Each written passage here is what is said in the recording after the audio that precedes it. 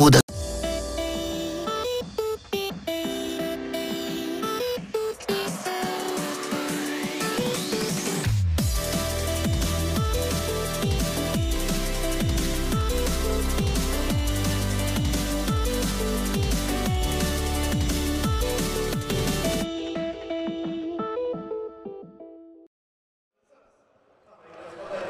Labas vakaras, mėly krepšinio įstruoliai. Cido arena jūsų ekranuose. Tai reiškia, kad esame panevežį, bet Safe LKL rungtynės ir aikštelės šeimininkai. Panevežė Lietkabelis savo žiūrovo akivaizdoje priima pasvalio pieno žvaigždė. Susitikimo pradžia netrukus. Trečią kartą šį sezoną susitinka komandos pirmenybėse. Du kartus Lietkabelis laimėjo. Šiandieną pasvalio pieno žvaigždės pabandys iškovoti e, pirmąją pergalę prieš Lietkabelį šį sezoną. Tai bus padaryti labai sunku dėl to, kad šiandien Lietkabelis e, savo žiūrovo akivaizdoje sutinka susilpnėjusį varžovą. Šiandien negalės žaisti pieno žvaigždžių gretose. E, pats svarbiausias, pats pavojingiausias, pats rezultatyviausias ir naudingiausias komandos krepšininkas Večeslavas Bobrovas. E, viena ryškiausių šio sezono Lietuvos krepšinio lygos figūrų. Slava nuolat pasižymė ne tik tai efektingų žaidimų, ne tik tai efektyvių žaidimų, tačiau ir buvimu tarp gražiausių savaitės, o kartais ir mėnesio epizodų. Be Večeslavo Bobrovo šiandieną taip pat pieno žvaigždėms negalės padėti ir Steponas Bobrauskas. Priežastys yra skirtingos. E, Večeslavas Bobrovas susirgo gripu ir maždaug savaitę prognozuojama negalės rungtyniauti. Na, o e, Steponas Babrauskas susižeidė ranką ir taip pat e, nėra pajėgus žaisti kurį laiką Lietuvos krepšinio lygoje. Taigi žiauriai sudėtinga šiandieną yra pieno žvaigždžių padėtis, tuo labiau, kad Lietkabelis yra pilnos sudėties ir uh, tikrai neiš, pasistengs neišleisti uh, šanso progos iškovoti šią pergalę prieš uh, susilpnėjusį varžovą, tuo labiau, kad nekartą šį sezoną jau nugalėta varžovą. Prisiminkime ir Karaliaus Mindaugo taurės turnyrą, kuriame Panevežio Lietkabelis laimėjo prieš pieno žvaigždės čia, Cido arenoje. E, Ta kartą tai padarė užtikrintai ir patekę į Karaliaus Mindaugo taurės e, finalo ketvirtą Klaipėdoje iškovojo trečiąją vietą. Čia matote pieno žvaigždžių komandos startinį penketą. Džeihensas Maniga, Trevonas Jūzas, Tomas Lekūnas, Nikita Balašovas ir Arturas Ausėjais. Ir Lietkabelio stovykla.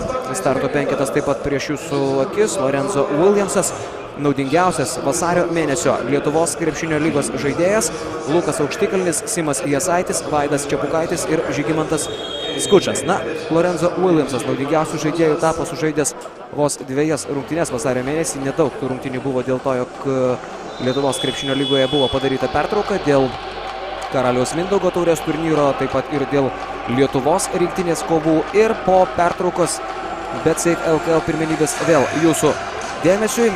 Šiandien vyksta dar treji susitikimai. Klaipėdos Neptūnas žaidžia šiuo metu trečiąjį kelnį su Kedainių nevėžiu. Ten Neptūnas Klaipėdoje priekyje 49-43 likus 3 minutėms iki trečiojo kėlinio pabaigos. Žalgiris šiandien žaidžia su Dzukija Kaune. Ten žalgiriečiai po dviejų kelinių priekyje 31-28. Ir Šiauliai savo sirgalio akivaizdoje po dviejų kelinių šiuo metu pirmauja prieš Utenos Juventus 59-52. Kol kas visi trys rezultatai atkaklus ir įdomus. Ir šitą gerą krepšinio sekmadienį pats metas pratesti aukštaitijos maču. Maču tarp dviejų gerų pažįstamų viens kitam klubų. Ir netrukus kova dėl atšokusio kamulio. Vaidas Čiapukaitis prieš Nikitą Balašovą. Dar kartą priminsiu, jog abi komandos yra turnyro lentelėje kaiminės, tačiau labai jau glaudžiamis kaiminėmis jų nepavadinsi. Lietkavelis 15 pergalių ir 8 pralaimėjimai. Ketvirta vieta, pieno žvaigždės, nors ir penktoje vietoje, tačiau atsilieka net šešiomis pergalėmis. Ir sumažinti šį atotrukį šiandien pieno žvaigždėms bus labai sudėtinga užduotis. Na ir pasižiūrėsime. Rungtynės prasideda rezultatui esant 0-0. Ir kaip mėgsta sakyti treneriai, tuo metu šansai abiems komandoms yra lygus. Skučas nepataikė pirmojo metimo, o Lukas Aukštikalnis atlieka perdavimą ten, kur nieko nėra. Pirmoji aikštelės šeimininkų klaida. Vakar Lietuvos krepšinio lygoje buvo sužaistas mačas tarp Vytauto ir Lietuvos ryto 76-83. Lietuvos rytas laimėjo, nors vargelio Prienuose buvo. Čia pavyksta išsaugoti kamuolį Trevonui Hjūzui, meta iš trijų taškų zonos ir nepataiko Tomas Lekūnas. Reikės pieno žvaigždėms šiandien sugalvoti, kaip kompensuoti Vičeslavo Bobrovos. Bobrovo nebuvimą.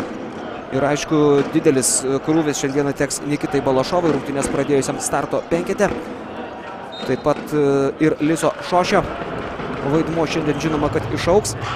Tomas Lekūnas taip pat rungtynės pradėjo starto penkete ir jeigu Slava Bobrovas būtų sudėtyje, nebejotinai jis būtų starto penkete. Na, aišku, turi savo ginklų pieno žvaigždės, e, pakankamai pavojingų metikų iš trijų taškų zonos e, Arturo Ausėjo, to paties Osvaldo Olisevičiaus ar Trevono Hjūzo asmenyje yra. Gali užaštrinti polimą ir Džeihensas Maniga, e, gali baudos aikštelėje varžovams problemų sudaryti ir Lisas Šošis su Nikita Balašovu. Tuo labiau, kad gynyboje po krepšių panevežė Lietkabelis kartais meška pirmuosius taškus. Pelno Žygimantas Skučas 2-0. Ausėjis. Trevonas Hjūzas, jo metimas ir pirmieji amerikiečio taškai. Trevono Hjūzo didesnio indėlio polime norėtųsi pieno žvaigždėms ir Gediminui Petrauskui, vyriausiam šios komandos treneriui. Jūzas per rungtynės, nors ir renka 12 taškų vidutiniškai, tačiau nėra jis labai stabilus. Tiesa, pastaruoju metu Trevono Jūzo uh, rezultatyvumas yra išaugęs. E, tarkim, per paskutinėsias dviejas rungtynės Lietuvos krepšinio lygoje su Neptūnu ir Utenos Juventus Jis rinko po 16,5 taško ir po 23 naudingumo balus. Nedaug atsiliko ir nuo to paties Lorenzo Williamso Lietkabelio stovykloje. Todėl visai įdomi šių dviejų įžaidėjų Likro dvikova šiandien. Nikita Balašovas pataiko ir iš vidutinio nuotolio. Vaidas Čepukaitis nesugraibo kamulio, prie to daug prisidėjo ir Tremonas Jūzas ištraukiantis kamulį komandos draugams. Džeinsas Meniga. Legionierius iš Kanados, čia Arturas Ausijus pašokdino Luką aukštikalnį ir buvo netoli taškų. Pavyksta susigražinti kamulį. Pasvalio komandai įsirėžė į varžovą Džeigensas Maniga ir fiksuojama pražanga polime. Jurgio Laurinavičiaus sprendimas. Šiandien Jurgis Laurinavičius, Vilius Mačiulaitis ir Ignas Davainis yra šių rungtinių arbitrai. Štai dar kartą šis epizodas ir Vaidas Čepukaitis. Kaip puikiai užsėmė poziciją, Džeigensas Maniga neįvertino to. Skučas netaikliai, Vaidas Čiapukaitis karaliauja po krepšiu ir Arturas Ausys čia bejėgis atitverti varžovų komandos priekinę liniją. Pieno žvaigždėms šiandien yra mirtinai svarbi užduotis. Pasigalinėti ten su Čiapukaičiu ir Skuču reikės, o dar yra ir broliai Lavrinovičiai, yra ir Donatas Tarolis.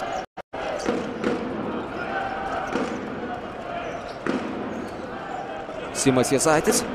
Lorenzo Williamsas labai geras jo tritaškių taiklumas buvo tose dviejose vasario mėnesio rungtynėse. Pataikė jis net septynis tritaškius iš dvylikos rungtynėse su Nevežiu ir Šiauliais. O po dar dviejų taškų po krepšių Gediminas Petrauskas prašo minutės per traukėlės, matydamas, kad jo komandai ten baudos aikštelėje šiandien jau rungtynių pradžioje labai sunku kvepuoti.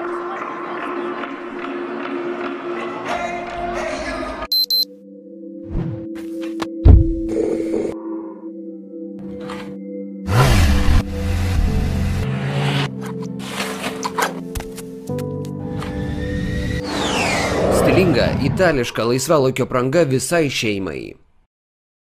Rule number one in flavor we trust.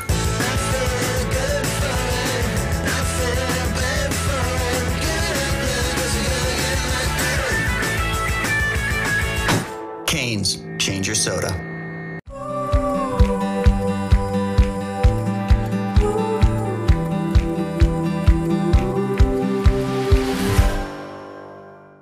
Šių laikai baigėsi. Finby.lt pirmas draugiškas būdas skolintis.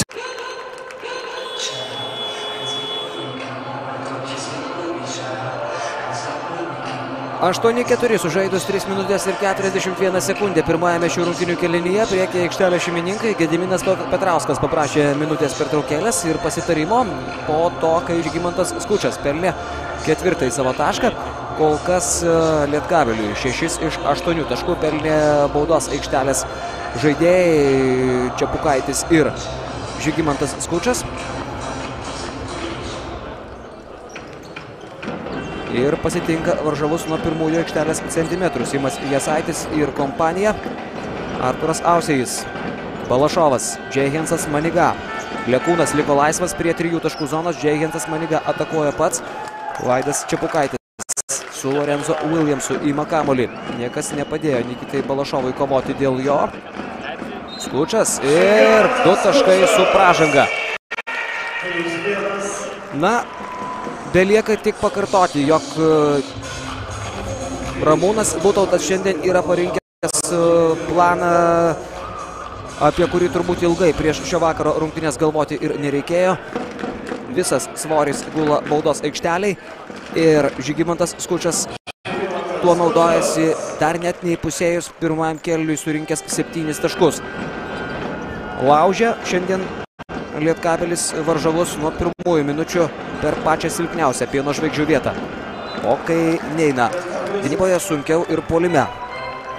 Petrauskas ieško naujų vėjų. Savo komandos žaidime Martinas Varnas kyla nuo atsarginių žaidėjų solelio. Po 14 minučių Lietuvos krepšinio lygoje žaidžia Martinas Varnas, pelno po 4 taškus, atkovoja po 2 kamuolius.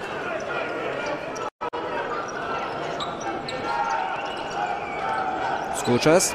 Vėl, vėl visa koncentracija į baudos aikštelę. Niekas negelbėja. Niekas negelbėja Tomui Lekūnui ir Žygimantas Skučas tokiais tempais gali surinkti ir rekordinius skaičius šios Lietuvos krepšinio lygoje. Įprastas jo vidurkis yra 6 ir 1 dešimtoji.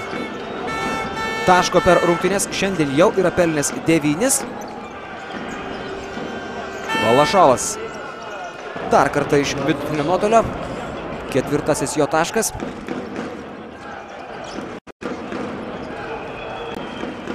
Aukštikalnis. Vėl Žygimantas Kučas, Martinas Varnas prieš jį. Čia aukštikalnis, metai iš trijų taškų zonos ir lyg pieno žvaigždėms problemų dar būtų maža.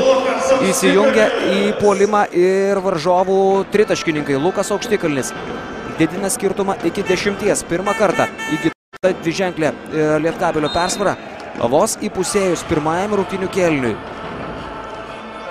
Trūksta ugnelės pieno žvaigždėms. Steponas Babrauskas susimastęs e, žvelgia į švieslentę, sėdėdamas atsarginių žaidėjų suolelio gale. Babrauskas ir Večeslavas Bobrovas kartu sudėjus šį sezoną rinkdavo po 24 taškus ir šį jų indėlį polime kažkam reikės kompensuoti. Bet didžiausios problemos kol kas yra stabdant Lietkabelio komandos priekinę liniją pasvalio krepšininkams. Dariušas Lavinovičius aikštelėje kartu su broliu Kšištofu. Polsio minutės Čiapukaičiui ir Skučiui.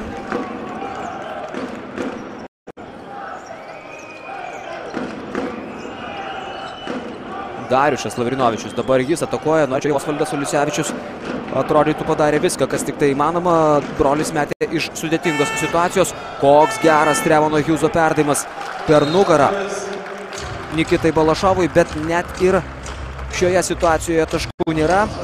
Vėliau pražanga prieš Darišą Lavrinovičių tam pačiam Trevon Hughesui.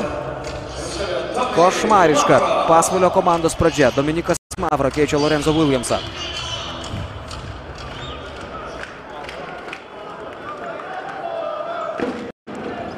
Dominikas Mavra Lietuvos krepšinio lygoje spėjo sužaisti vienerias rungtynės su Kėdainių nevėžiu. Debiutas vykęs, jo komanda laimėjo, o Mavra e, 23 metų gynėjas iš Kroatijos, tose rungtynėse pelnė 13 taškų, atliko 4 perdavimus, metė 100 procentų tikslumu iš 3 taškų zonos, 2 iš 2. 3 dvitaškai iš 4 ir 17 naudingumo balų. Galima prikipti nebent prie 3 Mavros klaidų. Krepšininkas, kuris Lietkabelėje pagal planą turi kompensuoti Adą Juškevičių ir jo išėjimą Na, aišku, tokį žaidėją kaip Juškevičius kompensuoti apskritai yra vargu ar įmanoma. Lukas Aukštikalnis kala antrą savo tritaškį šiandien. O čia antroji komandinė pražanga Lietkabeliui.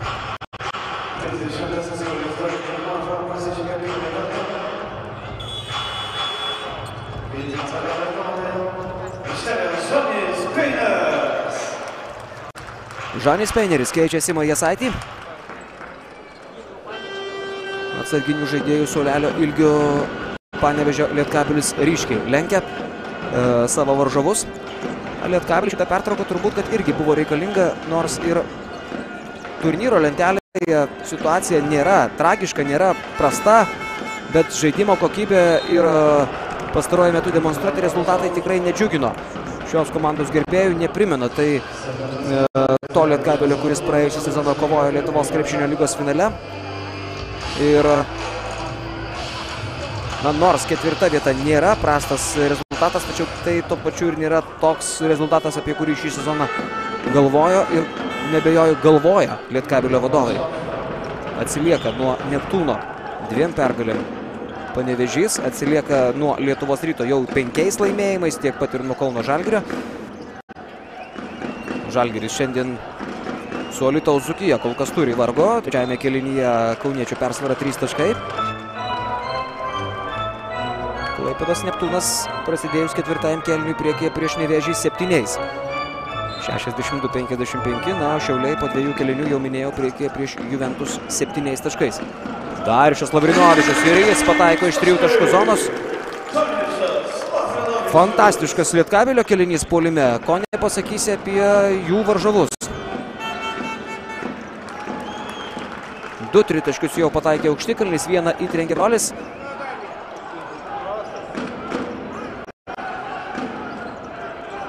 Mavra, aukštikalnis, geras perdamas Kšištofui, Kšištofas čia Žaniui Peineriui ir absoliutus pasivaikščiojimas. Gediminas Petrauskas skėščioja rankomis, nelabai žino, ko griebtis pieno žvaigždžių strategas.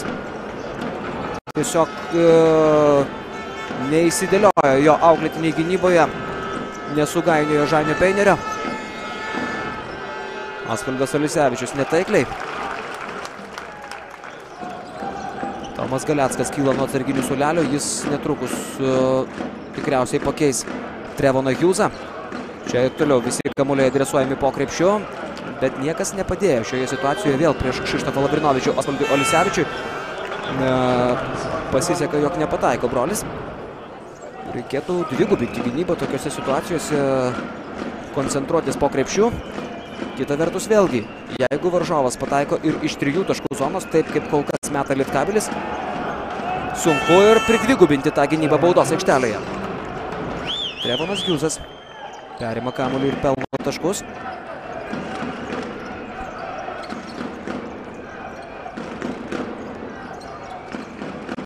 Aukštikalnis taigus, metimas iš trijų taškų zonos, nieko nelaukęs šveičia Lukas. Pajautęs malonumą mėtyti iš toli, po tų dviejų taiklių tolimų metimų pirmą kartą meta pro šalį aukštikalnis.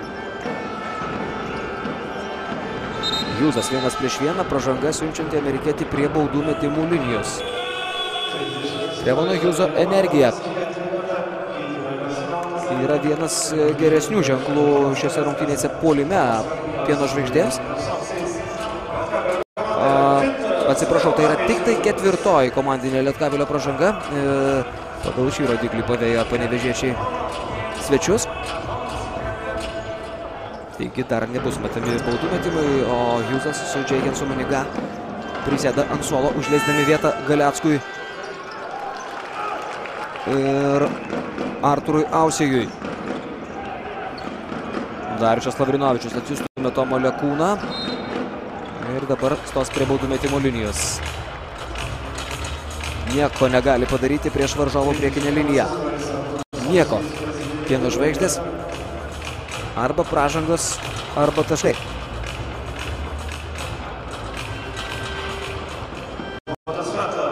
Tiesa, pražanga buvo ne tame epizode, kur Darišas Lavrinovičius, o Žanis Peineris susistumdė kitoje vietoje su Arturu Ausiju.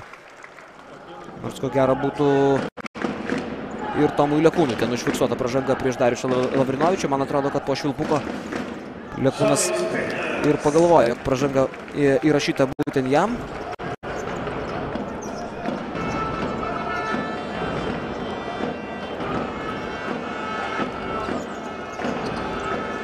Tomas Lekūnas nesiryšta metimui iš toli, susiranda geresnį šansą atakuoti.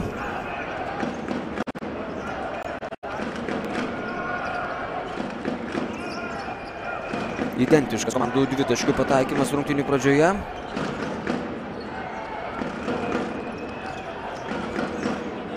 Mavra, jau tik tai keturios sekundės buvo likusios atakai. Čia pasvalio komanda turėtų sustoti, nes yra galimybė išdeginti visą kelinyje likusį laiką, bet vietoje to kamuolys keliauja link pieno žvaigždžių atsarginių žaidėjų solelio ir paliekamos 8 ir 30 sekundės Lietkabeliui užbaigti šį ketvirtį. Na čia jau nieko nepridursi.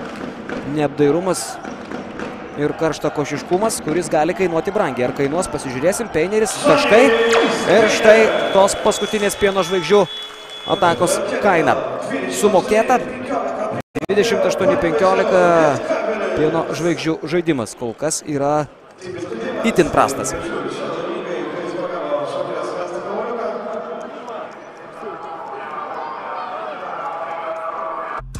Skaičiai.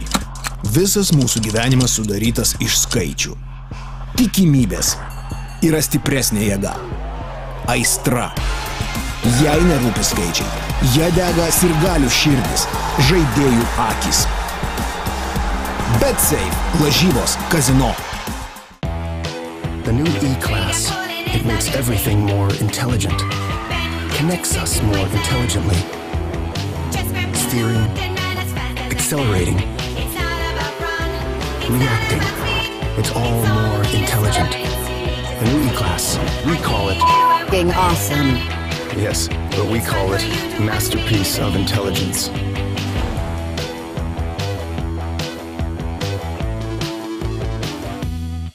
Vaikučiai ir jų mamytės. Tai finansų bitė. Jei planuojate didesnį pirkinuką, vestuves ar prispaudė greitieji kreditai, pasidomėkite pigiomis finby.lt paskolomis. E, paskolomis. Šie ir šių laikai baigėsi. Finansų bitė - pirmas draugiškas būdas skolintis.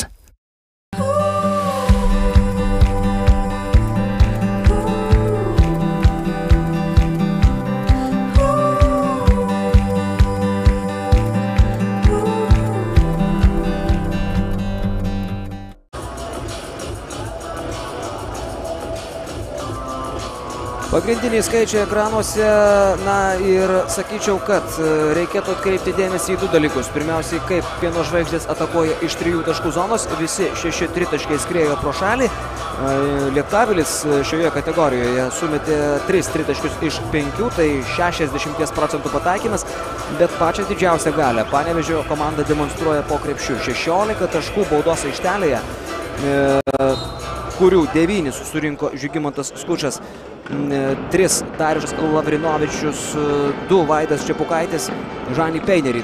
Taip pat baudos aikštelės krepšininkų galima vadinti. Žaidžia jis kartais po krepšiu, tai jis yra pelnęs šešis taškus.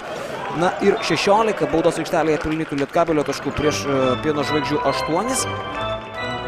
Tai yra ženklus skirtumas, na to labiau, kad iš tų aštuonių pieno žvaigždžių taškų dar ir greitame polime taškus surinko Trevonas Giusas, taip pat Tomas Lekūnas prasiveržimu. Tai nėra tas žaidimas ant ūselio, kurį šiandien e, naudoja Lietkabelis dažniausiai taip rinkdamas taškus po krepšiu. Čia prasiveržimu irgi Gintaras Leonavičius lengvai supjausto pieno žvaigždžių gynybą. Jeigu taip ir toliau, Lietkabelis visus klausimus gali spręsti dar pirmoje rungtinių dalyje.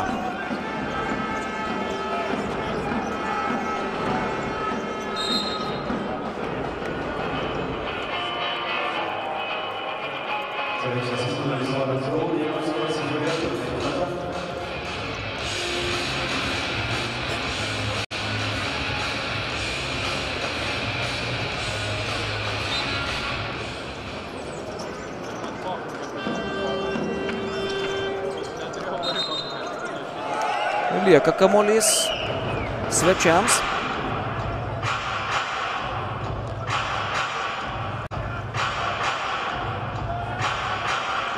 Karalius Mindaugo taurės pusfinalyje. Panevežio Lietkabelis nusileido Kauno Žalgiriui e, 74-88 mače dėl bandos po atkaklios kovos. Po labai rimtos kovos 81-78 įveikė Alitaus Dzukyje.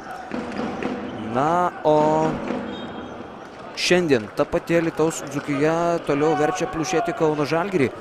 Žalgirio arenoje iki trečiojo kėlinio pabaigos likus keturioms minutėms. Rezultatas lygus 39-39.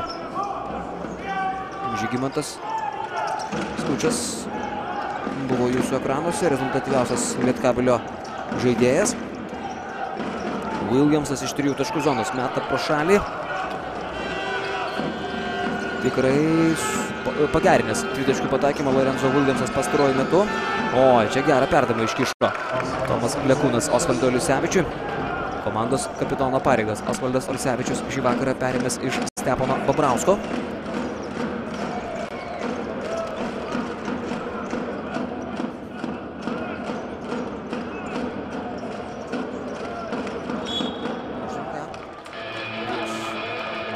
Leonavičių.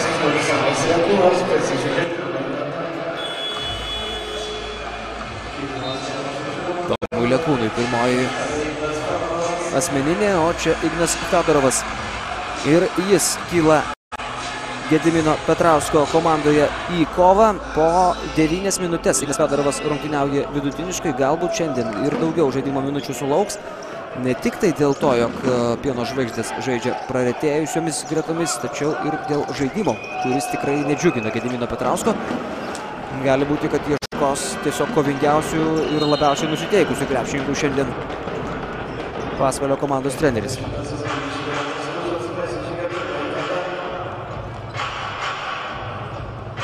Skučių pirmoji pražanga. O čia Ramūnas Butautas, vyriausiasis Lietkabelio komandos treneris. Didelis viltis su juo sėtos, kai šis krepšinio specialistas grįžo į Lietuvą ir sutiko gelbėti Lietkabelį.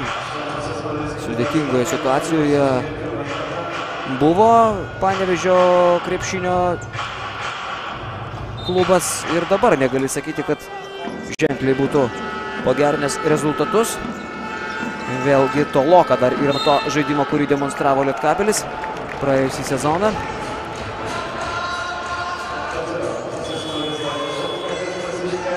Panašu, kad nepataikė Lietkabelio vadovai. Vasarą patikėdami šios komandos vairą Arturui Štalbergui, krepšinio specialistui iš Latvijos. Ir viena yra komandą treniruoti nuo pat vasaros, nuo pasiruošimo sezonui, o visai kas kita, taip kaip atsitiko Ramūnui Butautui, kai jau reikia perimti klubą viduryje sezono ir iš esmės pakeisti esamą situaciją. Aišku, Lietkabelio komandai psichologiškai nepadėjo ir visi tie e, skandalingi epizodai susiję su Simu Jasaičiu. Kiek ten tiesos ir kur ta tiesa turbūt ne taip čia šioje situacijoje svarbu, kaip ir apskritai tas pats dėmesys ir neigiamas dėmesys tiek iš sirgalių, tiek ir iš likusios aplinkos Simui ir jo komandos draugams.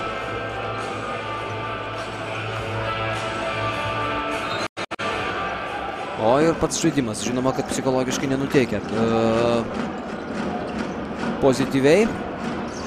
Ir vienintelis atributas galintis pakelti ir pakilėti nuotaiką, aišku, yra pergalės. Kaip čia bus, dar pažiūrėsim. Sezonas tęsiasi ir jame liko daug rungtynių. Pieno žvaigždės gali susigražinti vien ženklį atsilikimą. Arturas Ausijus pašokdino Donatą Tarolį, puikią progą turėjęs Latvis meta pro šalį. Vat štai tokiomis situacijomis jau privalo šiandien naudotis Pasvalio komanda. Pražanga vėliau kovoje dėl šokusio kamulio. Pražanga prieš Lorenzo Williamsą.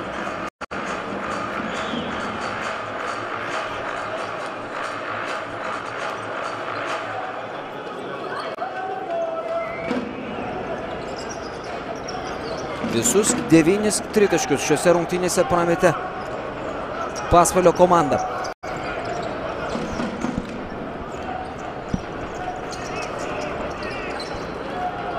Žanis Peineris, du taškai ir pražanga.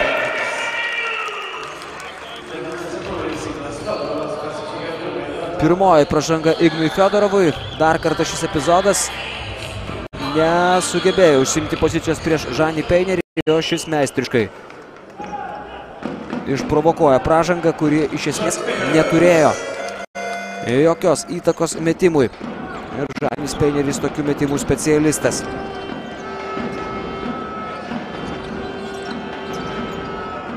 Tomas Lekūnas toli nuo krepšio. Žaidžia prieš Vaidą Čiapukaitį. Labai jau akivaizdus buvo šis perdavimas. Turėtų džiaugtis, jog neklysta ir nepraranda kamulio pieno žvaigždės. Dar 9 sekundės jų atakai. Lekūnas. Vaidas Čiapukaitis iškelia ranką, to pakako, jog metimas skrietų pro šalį. Dešimtasis pramestas pieno žvaigždžių tritaškis, nulis taiklių ir Vaido Čiapukaičio taškai greitajame polime. Dvidešimtasis Lietkabelio taškas baudos aikštelėje.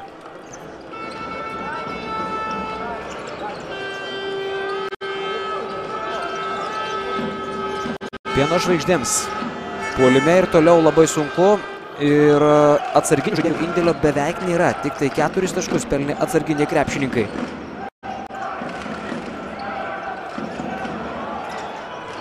Čiapukaitis.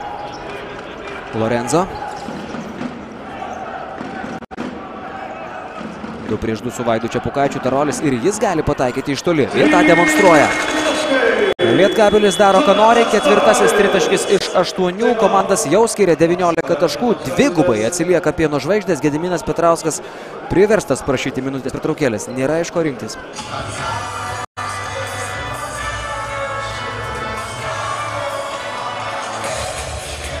Skaičiai. Visas mūsų gyvenimas sudarytas iš skaičių. Tikimybės yra stipresnė jėga. Aistra. Jei nerūpi skaičiai, jie dega sirgalių širdis, žaidėjų akis. BetSafe – lažybos kazino. Įsigykite premium plovimą ir su Extra Club kortele gaukite 7 centų litrui nuolaidą degalams. Circle K. Take it easy. Brandus, tirštas, sodraus skonio. O šis švelnus, lengvas, su gaivia rūkštele. Dvaro kefyras – skaniausia renkatės jūs.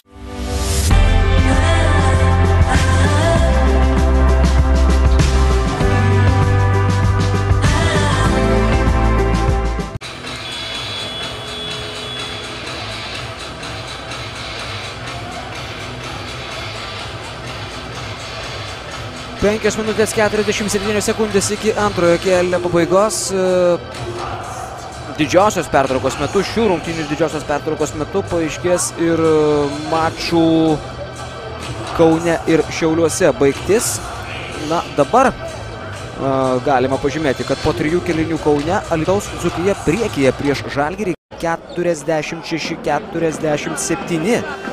Ir tai įdomi statistika įdomūs skaičiai. Šiauliai priekyje prieš Juventus jau 14 taškų, 16 taškų skirtumų, 84-68, tai irgi, sakyčiau, netikėti skaičiai.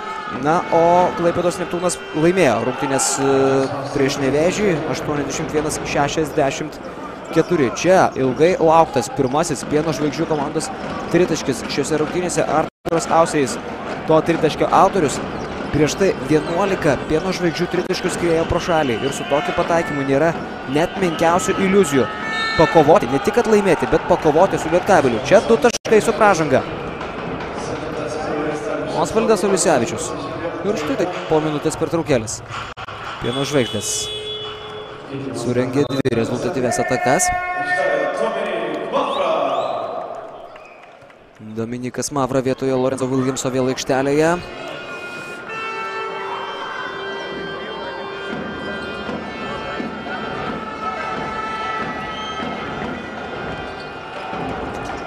Nulis šeši atkarpelę laimi pasvalys. Ir bandymas paspausti arti, arti perimto kamulio buvo pieno žvaigždės. Dabar turės keturias sekundės persivaryti kamuolį į savo aikštelės pusę Lietkabelis. Na, čia jau spaudimo ypatingo nėra. Ir per plauką, tik per plauką Dominikas Mavro įveikia vidurio liniją. Klausimas, ar nebuvo 8 sekundės praėjusios. O čia Donatas Tarolis. Vėl po krepšiu. Vėl per pačią silpniausią pieno žvaigždžių vietą. Lekūnas. Gerokai per trumpas metimas.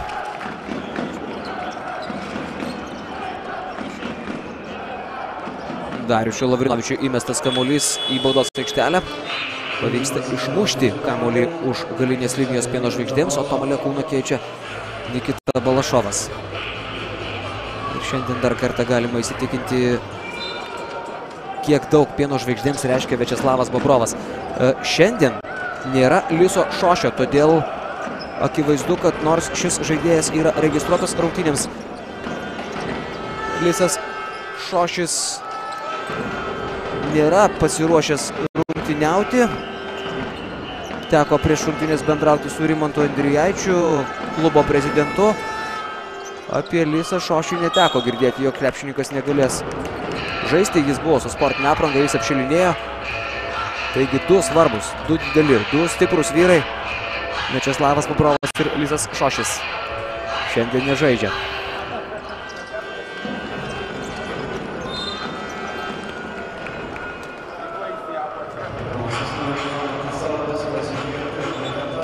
Pirmoji pražanga Donatui Taroliui. Taigi vienintelis Nikita Balašovas.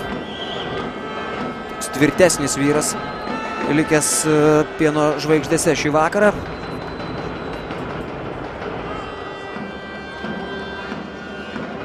Nikitos Balašovo ūgis 2 metrai 7 centimetrai. Žaisdavo jis iki tol šį sezoną po 20 minučių per rungtynes. Rinkdavo po 9 taškus ir atkovodavo po 4 kamuolius. O štai taip klysta. Panevežiečiai atsipalaidavo aikštelės šeimininkai, mažina skirtumą iki 11. Svečiai ir dabar jau Ramūnas Butautas prašo pirmosios minutės pertraukėlės šį vakarą.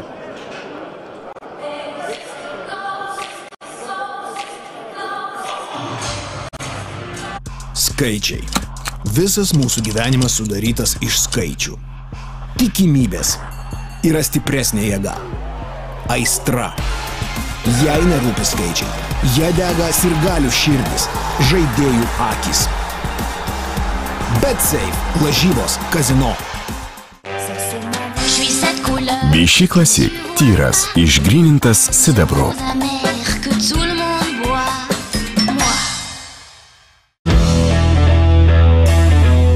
Dojus Agro. Kryptis į ateitį. Rule number one in flavor we trust.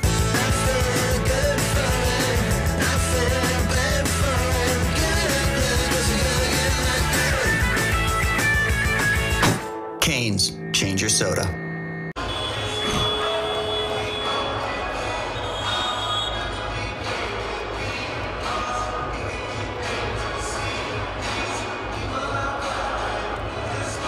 11 taškų skiria komandas, 40-29, didžiausia Lietkabelio komandos persvaro šiandien siekia 19 taškų, taigi netoks jau ir blogas dabar palyginti rezultatas. Dega švieslentėje svečiams, kurie likus keturioms minutėms iki pirmosios rungtynių dalies pabaigos. Sprendžia rimtus galvosūkius panevežyje, Džeihensas Maniga perima kamolį ir mažina skirtumą iki 9 taškų. Liepsnos ir kovos. Šiandien pieno žvaigždėms taip pat e, trūksta, bent jau trūko iki šiol. Ir šansas ją susigražinti yra vienintelis. Tai yra po truputį mažinant atsilikimą. Priešingų atveju komanda tik tai klims gilin. Donatas Tarolis. Du taškai ir pražanga. Nieko po krepšių negali prieš šeimininkų šiandien padaryti pieno žvaigždės. Ir puikus Luko aukštikalnio perdavimas.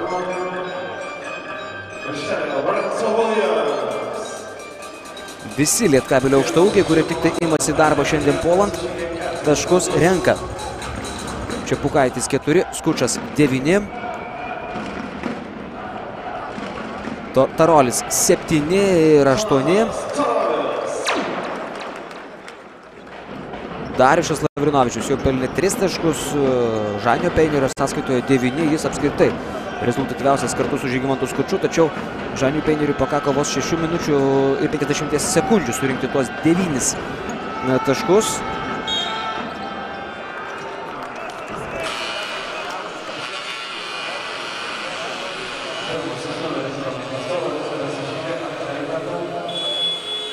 Antroji pražanga Taroliui. Ir Skučas aikštelėje vietoje jo. Na štai čia Lietkabelio komandos stiprybė. Ypač šiandien krepšininkai po krepšių, ypač keičiantys vieni kitus, niekuo nenusileidžia.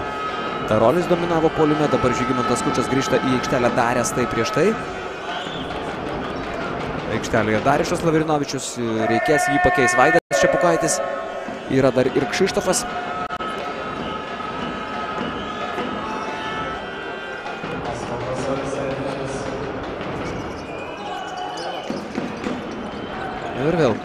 Pieno žvaigždžių. Spaudimėlis nesunkiai šį kartą jį įveikė Lietavlis. Žanis Peineris. E, tai yra Dominikas Mavra. Stos prie baudų metimų linijos. Ir Arturui Ausijui. Arturui Ausijui trečioji pražanga. Nors Latvijas šiandien e, nežyba, toli gražu nežyba. Vos vienas tritaškis iš penkių. E, ir pramestas dvitaškis metimas, trys taškai ir minus trys naudingumo balai. Bet kuriuo atveju jis vis tiek yra labai svarbi pieno žvaigždžių polimo gyja šį sezoną. Renka Arturas Ausijais vidutiniškai po 12 ir 30 taško. Išmeta per rungtynės daugiau nei po 7 tritaškius, pataiko po beveik 3. Šiaip Arturo Ausiojo žaidimas kažkur tai prapuolęs per paskutinėsis penkerias rungtynės polime. Arturas Ausijais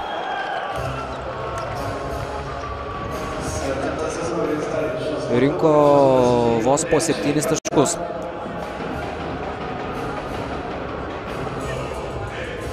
Ir tritaškių taiklumas taip pat gerokai nusimušęs. Apskritai per pastarąsias trejas rungtynės iki šio mačo Arturas Ausijais prametė septynis tritaškius. Neįmetė nei vieno, nei su Žalgiriu, nei su Neptūnu, nei su Juventus.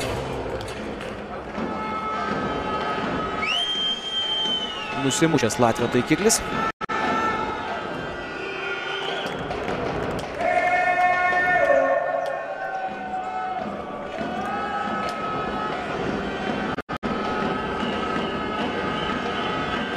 Jurgis Laurinavičius, vyriausias rungtynių arbitras stambi planu, nepataiko Asvaldas Aliusevičius antrojo baudos metimo.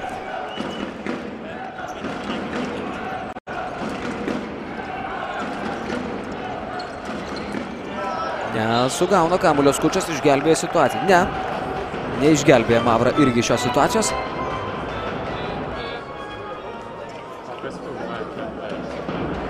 Jaučia Lietkabelis, jog šiandien turi pranašumą ir dažnokai klysta, tai tam tikras atsipalaidavimo ženklas. Jau 10 kamuolių pametė panevežiečiai, pagal šį rodiklį pirmauja prieš pieno žvaigždės, suklydusias septynis kartus. Tu atsiprašau, pieno žvaigždės vos keturis kamuolių šiandien pametė. Čia nepaisant to klaidų skaičiaus, Lietkabilis vis tiek pirmauja ir pirmauja solidžiai viso mačo metu kol kas. O pieno žvaigždėms verkiant reikia pataiky, pagerinti tritaškių pataikymą. Vienas tritaškis iš 16. 6 procentų tikslumas. Dvitaškiai krenta neblogai. 11 iš 17. Na, įsivaizduokit, iš tų 16 mestų tritaškių, jeigu ne vienas, o bent 3 būtų pasiekę tikslą, rezultatas dabar galėtų būti lygus. Na, 4 kas irgi nebūtų fantastiškas tritaškių pataikymas. 4 iš 16, 25 procentai. Bet šiuo atveju e, liet, e, pieno žvaigždžių tritaškių taiklumas yra katastrofiškas. Apie gynybą, aišku, irgi kalbų nėra. Ten, ką nori, tą daro Lietkabelis. Po krepšių iš vis. Jokių variantų šiandien apsiginti prieš Lietkabelio priekinę liniją nepademonstravo svečiai. Liusevičius. Čia jo jau metimas. Nieko nelaukus. ilgai nesitaikant, šiek tiek atšokus. Taiklę ranką turi šis puolėjas ir tą pademonstruoja Kšištofas Lavrinovičius. Penelyk laisvas.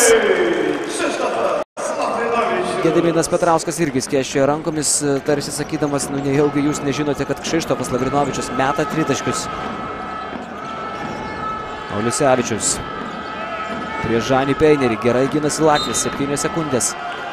Pieno žvaigždžių išpoliui, pažanga ir du baudų metimai. 30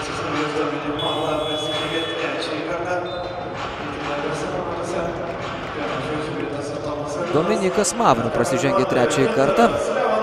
Tris kartus prasižengė, beje, Lietkabelio sudėtyje yra ir Dariušas Lavrinovičius ir Vaidas Pukaitis.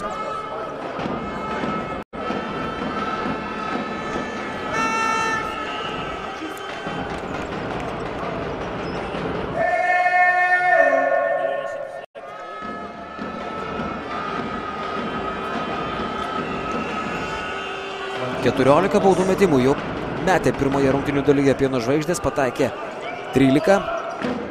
Du kartus daugiau baudų meta šiandien svečiai.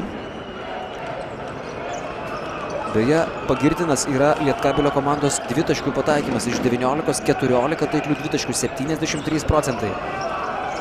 Aišku, daugiausiai tų metimų iš pokrepčio Kšištofas Lavrinovičius pataiko antrą tritaškį iš eilės 53-40 net nesužaidus dviejų kelinių. Tokie skaičiai švieslentėje. Pražanga polime. Ir jau atrodė, kad gali pieno žvaigždės pirmąjį rungtinių dalį užbaigti atsilikdamas galbūt netgi vien ženklių skirtumų ir taip palyginti neblogos nuotaikos išeiti į pasitarimą Rūbinėje. Dabar jau vaizdelis toks, kad Lietkabelis gali susigražinti gal netgi beveik viską, o gal ir viską, ką turėjo susikūręs pirmoje dalyje. Skučas. Na, galbūt dabar atsilaikys Tomas Lekūnas. Vienas prieš vieną atėjo į pagalbą ir Balašovas. Štai ko ir reikėjo. Pieno žvaigždėms labiausiai pirmoje rungtinių dalyje. Komandos, draugų, pagalbos. Kaip štai dabar ją pademonstravo Nikita Balašovas.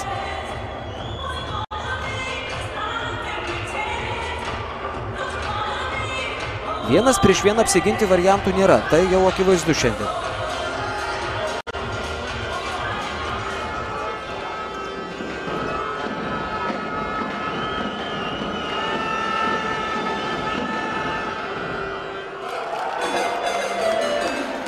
Tomas Lekūnas.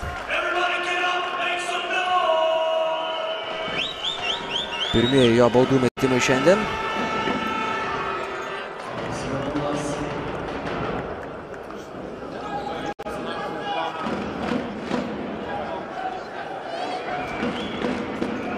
Lorenzo Williamsas, Simas Jasaitis, Gintaras Leonavičius, Žygimantas Kučas ir Kšištofas Lavrinovičius.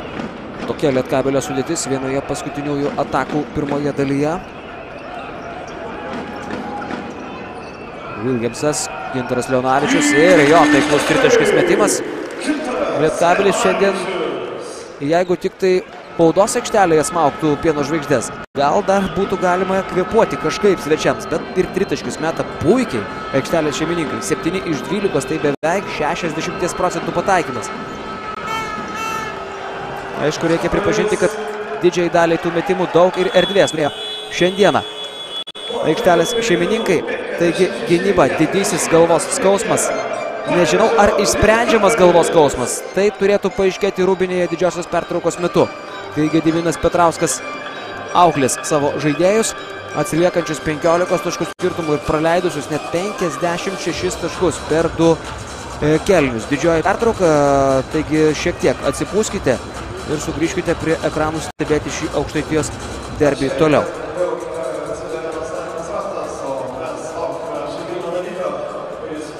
Skaičiai. Visas mūsų gyvenimas sudarytas iš skaičių. Tikimybės yra stipresnė jėga. Aistra. Jei nerūpi skaičiai, jie dega sirgalių širdis, žaidėjų akis. BetSafe lažybos kazino. The new E-Class. It makes everything more intelligent. Connects us more intelligently. Steering, accelerating, reacting. It's all more intelligent. An UE class. We call it. Being awesome. Yes, but we call it masterpiece of intelligence.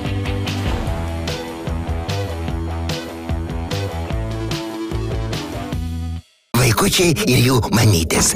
Tai finansų bitė. Jei planuojate didesnį pirkinuką, vestuves ar prispaudę greitieji kreditai, pasidomėkite pigiomis finbi.lt paskolomis. E, paskolomis. Šie ir šių laikai baigėsi. Finansų bitė - pirmas draugiškas būdas skolintis.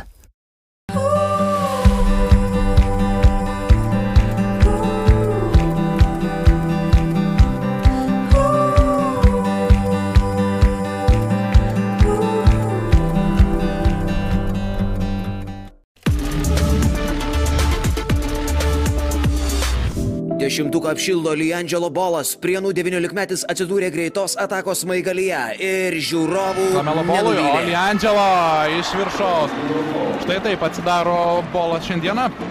Mačulis jau įsiregistravo. Šiek tiek aukščiau Šiaulių krepšinio viltis Laurinas, jei gynybos tik truputis, laužys krepšį Pons Birutis. Birutis, puikus jos skrydis. Ir čia visiškai nepasiruošę dzūkai gynyboje.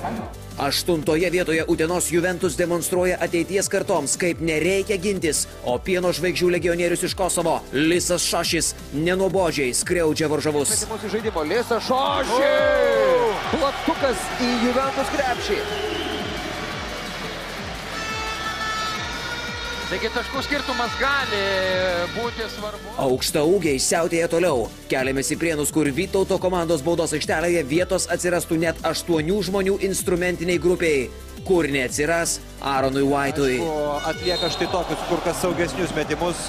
Uh, Prienus ir gali šiandien serga ne tik tai už savo komandą. Jiem patinka visi gražus epizodai, tokie, kokį dabar matėme prie jų komandos krepšio. Šeštoje vietoje grupės 69 danguje dainos Velniškas greitis įkvėpti Krisas Kreimeris ir Rokas Gedraitis. Nėra kur dėtis, mes išprotėję važiuojam pas tave. Pergaliai dainuoja vyrukai.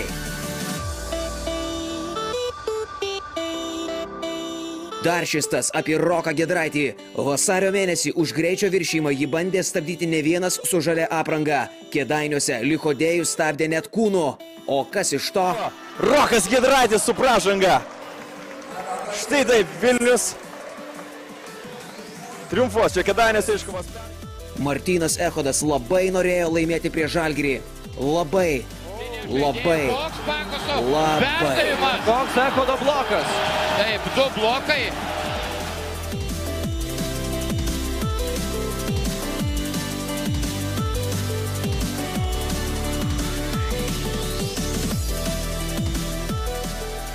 Bronzą gražiausių epizodų kompiliacijoje iškovojo Alitaus Zukijos Pikčiurna Paulius Petrilevičius. Juventus bokštas Laronas Dendis liko nesuprastas ir nesupratęs. Levičiaus monstriškas prasiveržimas ir dėjimas su mėsomis į varžovų krepšį. Patenkintas e, šiuo epizodu. Vieną gražiausių epizodų vasarį ir vėl sukūrė Večeslavas Bobrovas. Po rungtynių Slavos klausiau, kaip ten sekėsi prieš Juciką. Prieš kokį Juciką? Perklausė jis. Bobrovas, atsiprašau. Slava Bobrovas. Koks užsivedęs. Na, įrodo, kad tikrai Jucikui dar reikia valgyti labai daug košės, galbūt ne tik košės, bet ir kotletų. Neįtikėtina, gražiausias šių rungtynių momentas, dabar minutės pertraukėlė. O dabar desertas. Galite sakyti, kad taip negalima. Galite pridurti, kad taip niekas nedaro. Gal net sakysite, kad kas po velnių čia vyksta. Bet tai vyksta. Lamelo bolas daro, ką nori. Ir tai veikia. Ir jeigu rezultatas yra toks, koks jis yra, o jis... Lamela. Greičiausiai minėtas bandys kovoti su Kavaliausku. Lamelo siautėje toliau. Kada nors jūs, mėly bičiuliai, tai matėte LKL pirmenybėse kurio nors kito žaidėjo veiksmuose. Ir tai yra 17, jis iš tikrųjų jau jo taškas, aišku, Žalgiris gali mesti iki begalybės dvi taškus iš po krepšio, niekas netrukdo uh, Žalgiriečių krepšininkams. Įsijungęs Instagramą, iškart ieško LKL naujienų. Įsigykite premium plovimą ir su ekstra klap kortele gaukite 7 centų litrų nuolaidą degalams. Circle K. Take it easy. Vichy Classic. Tyras. Išgrinintas sidabru.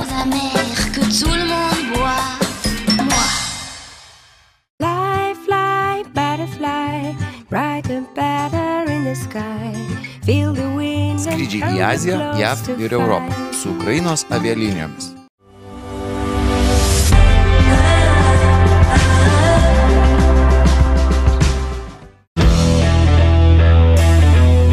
Dojus Agro - kryptis į ateitį.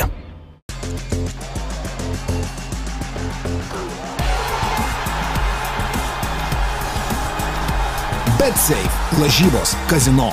Iššaukote pergalių. Restoranuose Charlie Pizza. Pasitikite jas ragaudami naujas pizzas su nuolaidomis net iki 66 procentų. Charlie Pizza - taikliausias pasirinkimas.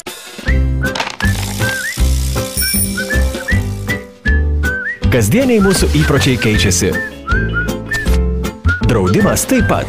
Kompensa - asmens draudimas su pagalba.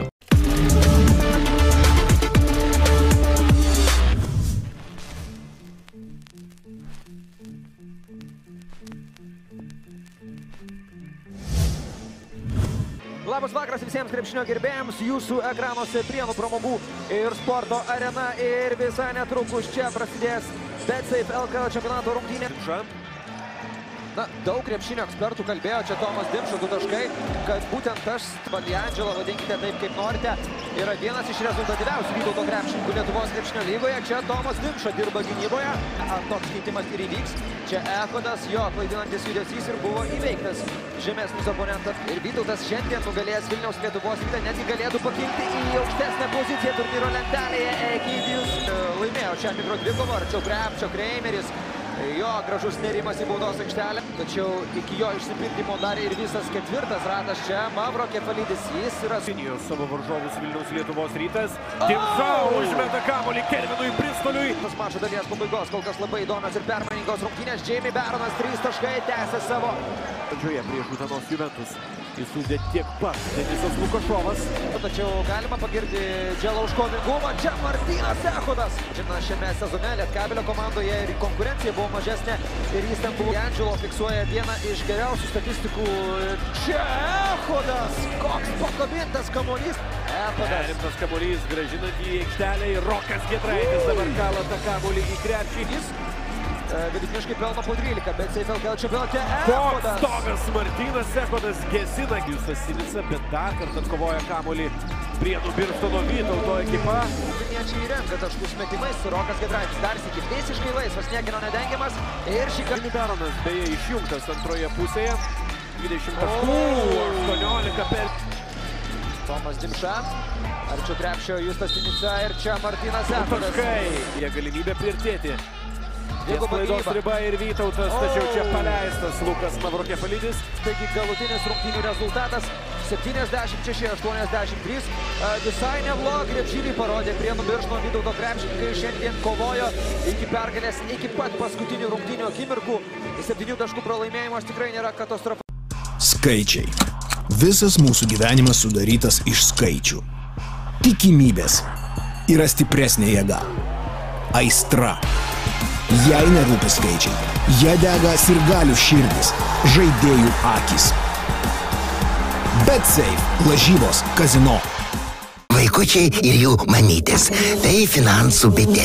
Jei planuojate didesnį pirkinuką, vestuves ar prispaudė greitieji kreditai, pasidomėkite pigiomis finbi.lt paskolomis. E, paskolomis.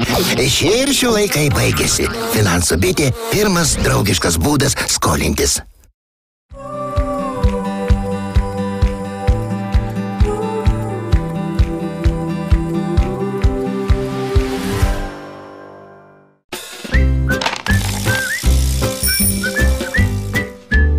Kasdieniai mūsų įpročiai keičiasi.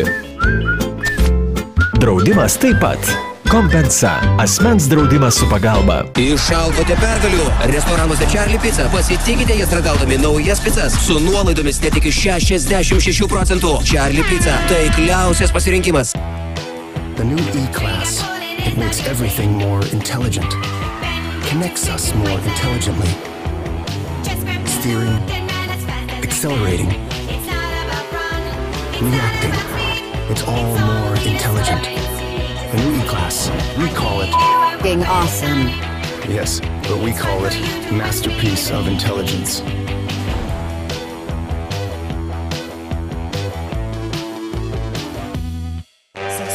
Je suis cette cool Vichy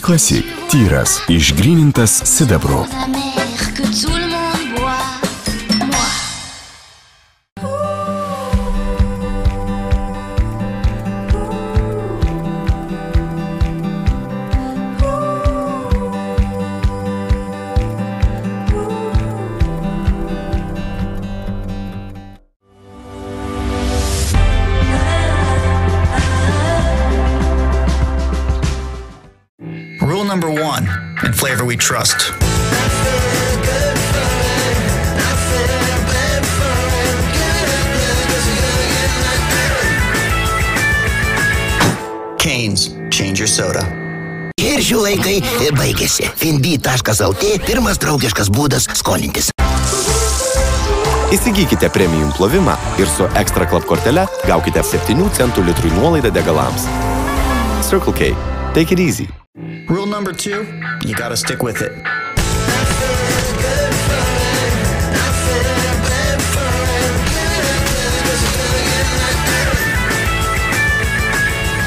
Canes, change your soda.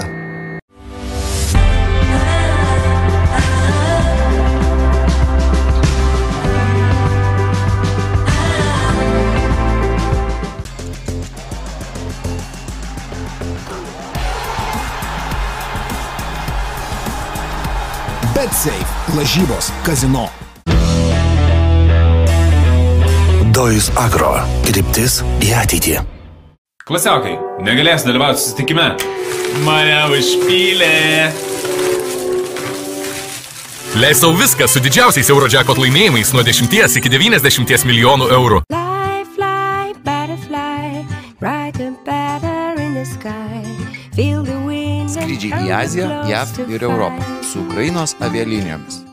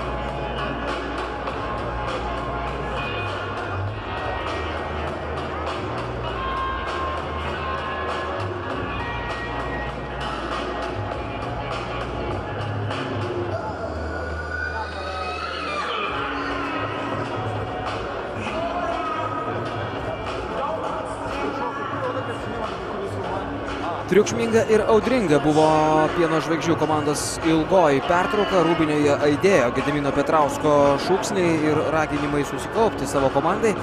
56-41, 15 taškų skiria komandas po dviejų kelinių e, ir aišku pagrindinis pieno žvaigždžių komandos galvosūkis yra susitvarkyti situaciją baudos aikštelėje, kur kol kas praktiškai visi e, pieno žvaigždžių komandos tankai važiuoja laisvai. E, Ir ten baudos aikštelėje taškus renka kas tik tai užsigeidžia, kas tik tai gauna kamuolį. Na, pirmiausia, reikia atkirsti kaip nors pieno žvaigždėms uh, įžaidėjus, lietkabelio įžaidėjus, siunčiančius kamuolius po krepšiu aukšta ūgiams. Na ir aišku, koncentracija dvigubinant gynybą arba padedant vienas kitam, stabdant lietkabelio aukšta ūgius. Šiandien primenu, kad negali žaisti ne tik tai Večeslavas Bobrovas pieno žvaigždėse. Svarbiausias Pasvalio komandos aukšta ūkis, tačiau žaisti negali ir Lysas Šošis, kuriam yra lūžusi nosis, taip pat negali rungtyniauti ir Stepanas Babrauskas. E, sužeidęs ranką prieš šias rungtynės ir visas šitas negandas sudėtinga yra įveikti jau dabar akivaizdu, sužaidus du kelnius. Antroji rungtynių dalis prasidėjo, čia pieno žvaigždžių komandos pirmasis išpolis, Džeihensas Maniga atakuoja netaikliai, bet kamuolys liks svečiams pražanga. Kovoja dėl kamulio lietkabelio žaidėjui Lukui Aukštikalniui. Taigi pristatau trečiojo kėlinio penketukus. Pradėsiu nuo pieno žvaigždžių. Trevonas Jūzas, Džeigensas Maniga, Nikita Balašovas, Osvaldas Olisevičius ir Martynas Varnas. Čia Osvaldas Olisevičius staigiai meta iš trijų taškų zonos pro šalį. Vienas tritaškis iš 17. Toks tritaškių pataikymas, tai dar viena didžioji pieno žvaigždžių komandos bėda šiandien. Na, o čia Lietkabelio komandos penketas. Lorenzo Williamsas, Lukas Aukštikalnis, Žygimantas Skučas. Ir jis pataiko iš trijų taškų zonos. Vaidas Čiapukaitis taip pat tame penketuke yra. Ir Simas Jasaitis. Jo, nepristačiau. Balašovas, Olisevičiui. Prieš Olisevičių Skučas ir taip pat Vaidas Čiapukaitis pastovėjo šalia. Rezultatyviausi komandų krepšininkai Lietkabiliui 11 taškų jau yra pelnęs Žygimantas Skučas, 9 taškai Žemė Peinerio kraityje, 8 surinkęs Donatas Tarolis, Pieno žvaigždėms 14 taškų pelnė Osvaldas Olisevičius. Bet Osvaldas Olisevičius prametė visus keturis tritaškius. Ir tai šiandien yra ryškiausi skaičiai Pieno žvaigždžių polime. Tas tritaškių pataikymas yra netgi dar blogesnis, negu minėjau, ne iš 17, o vieną iš 18 yra pataikę svečiai. Varnas visiškai laisvas, 3 taškai krepšyje. Dar prie Pieno žvaigždžių komandos problemų reikėtų pridėti ir Arturo Ausijo 3 pražangas, kurias yra surinkęs Latvis. Tai irgi prisidėjo prie to, jog būtent Martynas Varnas, o ne Ausijais pradėjo trečiąjį kelnį penketuke. Džeihensas Maniga neišnaudojo geros progos. Balašovas meta pro šalį ir vėliau Rusui pražanga.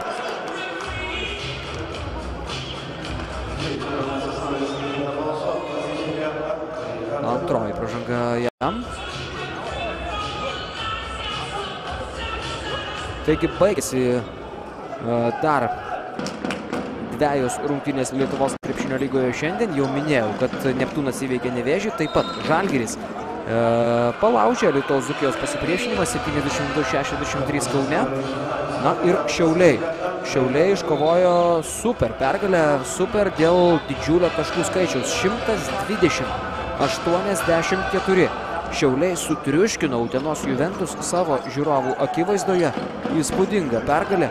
Šiauliečiai e, po pertraukos Lietuvos krepšinio lygą sugrįžo štai taip galingai ir e, iškovojo devintąjį laimėjimą pagal pergalių skaičių. Šiauliai pavijo pieno žvaigždės ir jeigu šiandien įvykiai Panevežyje nepakryps kokia nors netikėta linkme, tai pagal pergalių skaičių, pergalių ir pralaimėjimų balansą Šiauliai bus lygus su Utenos Juventus ir su Pieno žvaigždėmis. Visos šios trys komandos galimai turės po 9 pergalės ir 15 pralaimėjimų.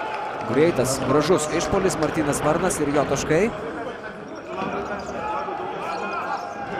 Šiaulių komanda turi visus šansus šį sezoną stebinti toliau ir Jeigu prieš sezoną daug kas kalbėjo apie tai, jog Šiauliams bus vargo uh, kovojant dėl vietos atkrintamosiose, tai dabar uh, Šiauliai dalinasi 5-7 vietas turnyro lentelėje.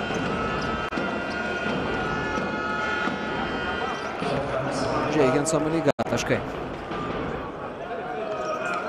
Beje, šiandien tose rungtynėse Šiaulių komandai 120 taškų labai padėjo ir tiesiog fatališkai nerealias rungtynės sužaidęs a, Nikas Zeislovtas. 12 tritaškių jis sumetė į a, Juventus krepšį 41 taškas. Tiesiog neįtikėtinas rezultatas. Šiauliai pagerino pataikytą tritaškių rekordą. E, tobulas Niko Zeislovto rungtynės. Čia minutės pertraukėlė Panevežyje.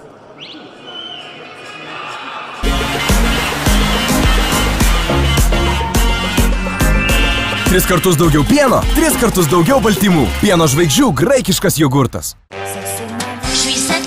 Vichy Classic. Tyras, išgrynintas sidabru.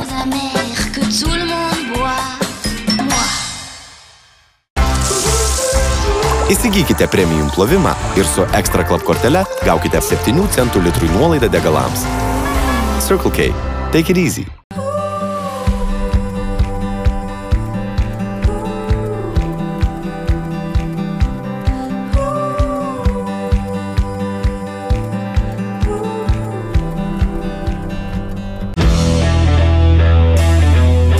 Dojus Agro. Kryptis į ateitį.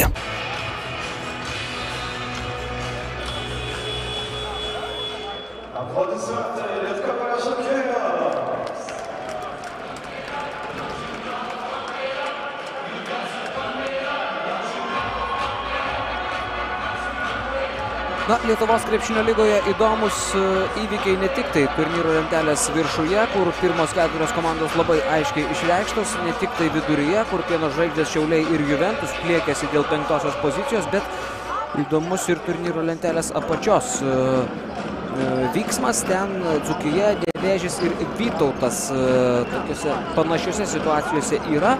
Dzukija 7 pergalės 17 pralaimėjimų, Nevėžis 6 pergalės 18 pralaimėjimų ir Vytautas 5 pergalės 19 nesėkmių. Ten taip pat nebijotinai bus atkakli kova ne tik tai dėl vietos atkrintamosiose, ne tik tai dėl tos aštuntos vietos, na taip prognozuojant, žiūrint į dabartinę situaciją, bet tuo pačiu įdomu bus ir aiškinantis, kurigi komanda liks paskutinėje turnyro lentelės vietoje. Vieta labai negeidžiama, nes tai yra pozicija, kuri tarsi reiškia, jo komanda turėtų trauktis iš Lietuvos krepšinio lygos. Jeigu tik tai nacionalinės krepšinio lygos čempionas turėtų atitiktų visus reikalavimus žaisti LKL. E.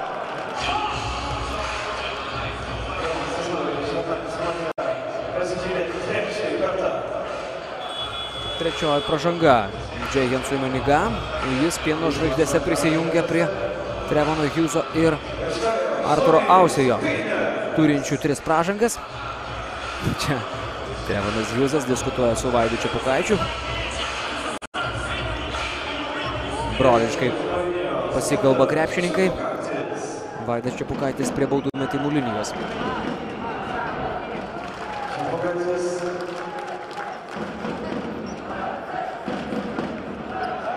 Lyderis pagal atkovotus kamolius Lietkabelio komandoje šį sezoną. 4 ir 3 dešimtosios atkovoto kamolio per rungtynės. Pieno žvaigždės šiandieną dar rungtynių tikrai nepalaidojo. Ir laiko apšiai sunaikinti tą 13 taškų Lietkabelio pranašumą. Tik tai reikia pataikyti tritaškius. Džeihensas Maniga pataiko iš 3 taškų zonos iš gestikuliacijų suprantu, kad dar ir pražangos norėtų šiame epizode. Ne, mina tritaškio liniją Džeikensas Maniga. Į tritaškių ir toliau nedaug. Pieno žvaigždėms. Tai perima kamulio Eskaldas Liusevičius.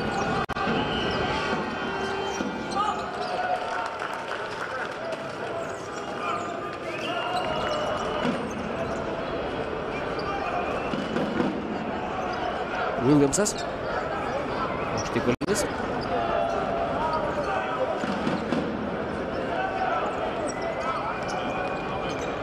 Lorenzo Williamsas apibėga visus, taškų nėra, neprasižengia ir Nikita Balašovas. Sugebėjęs neprasižengti, tai buvo svarbu. Šioje atakoje Džeihensas Maniga. Na, sakyčiau, kad nutrūk galviškas metimas.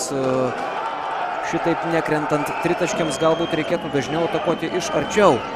Pieno žvaigždėms šiandien bandyti draskyti varžovo gynybą prasiveržimais, ieškoti pražangų, kas beje neblogai sekėsi pirmoje dalyje. 16 baudos metimų šiandien metė pieno žvaigždės, pataikė 14. Perima kamolį Trevonas Jūzas, šauna į priekį, Žanis Peineris čia dar buvo, bet buvo trumpai. Komanda skiria 9 taškai. Kasgi čia? Techninė pražanga.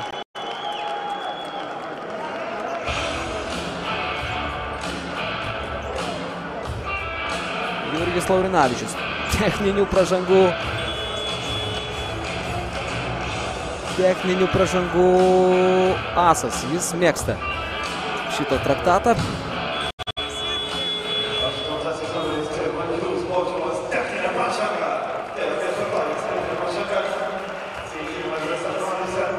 Na,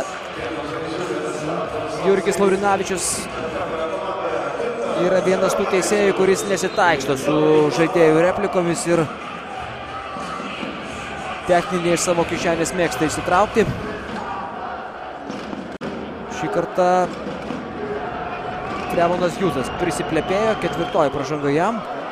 Žanis Peineris šitos techninės pražangos neišnaudoja. Stepanui Gobrauskui tai patinka, jis sako ball never lie. Kamuolys niekada nemeluoja.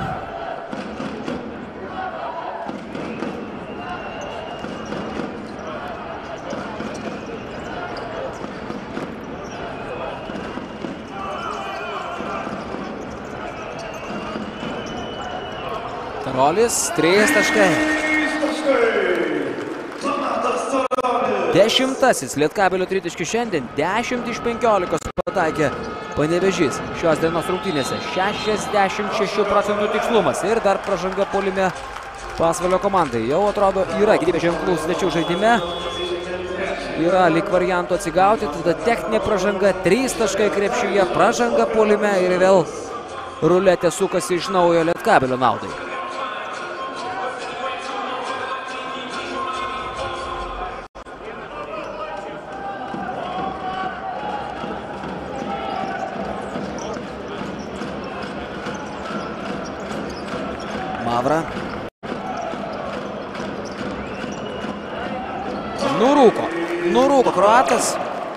Palikęs už nugaros tiesioginį oponentą, vėliau nesutiko irgi rimtesnių pasipriešinimų varžovų gynyboje.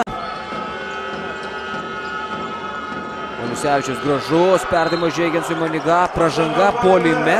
Štai toks teisėjo sprendimas Džeigensui Maniga. Džeigensui Maniga tai yra ketvirtoji pražanga, tiek pat turi abu pieno žvaigždžių amerikiečiai. Štai dar kartą epizodas, kuriame Džeigensas Maniga Jurgio Laurinavičiaus vertinimu atsistumė, nusistumė Gintarą Leonavičių. Byra pieno žvaigždės ir bandymas sukilti. Atrodo, kad uh, bliūkšta. Čia Žanis Peineris, aišku, jau jokių variantų prieš jį Martinui Varnui.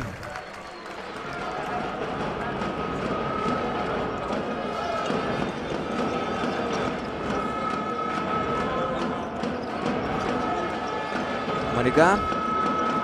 Ausiais, jis irgi turi tris pražangas. Omisevičius stipresnis prieš Gintarą Leonavičių, turi žaisti pats. Žaidžia, bet Leonavičius labai gerai atstovėjo gynyboje. Aspandas Alisevičius nors ir atrodo tvirčiau sudėtas, bet panašu, kad fiziškai nelabai e, įrodė to prieš e, Gintarą Leonavičių ir metė atšokęs. Čia Darišas Lavrinovičius. Na ir atkreipkite dėmesį. Darišas Lavrinovičius liko prieš Arturą Ausiai.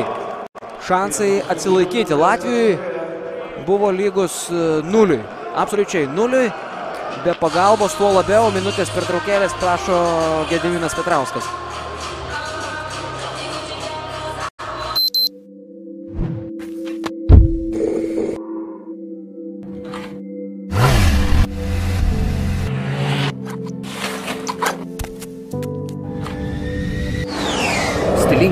Itališka laisvalaikio pranga visai šeimai. Įsigykite premium plovimą ir su Extra Club kortele gaukite 7 centų litrui nuolaidą degalams. Circle K. Take it easy.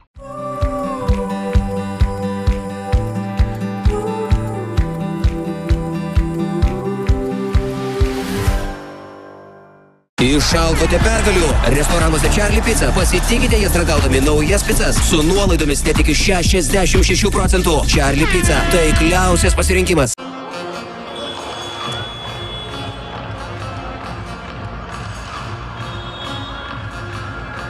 Na taip, Lietkabelis dominuoja baudos aikštelėje, tą dar kartą galima pažymėti, bet negalima nepastebėti ir apskritai, kaip gerai polime šiandieną žaidžia panevežiečiai. Nieko negali padaryti pasvalys prieš Lietkabelio komandos polimą, ne tik tai po krepšiu. 10 tritaškių iš 15, tai irgi įspūdingas rezultatas. Ir nepaisant net 16 Lietkabelio komandos klaidų, e, puolimas e, tiesiog fantastiškas. O čia Arturas Ausiais primena, kodėl jis yra svarbus. Pieno žvaigždėms štai kur jo specializacija. 3 taškai. E, Tai buvo tik tai trečias tolimas metimas pieno žvaigždžių komandoje šiandien. 3 iš 23. Bet labai reikalingas dar bandant šiandieną kaip nors kabintis į kovą Cido Ausijas, oi, du taškai ir pražanga, gražus epizodas, penktas Latvio taškas iš eilės, tai dar ne pabaiga, Tarolio pražanga ir baudos metimo mes. Latvis dar kartą apėjo Leonavičių ir Donatas Tarolis čia nieko nebegalėjo padaryti. Tos pražangos Latvis net nepajutė. Trečioji Tarolio pražanga.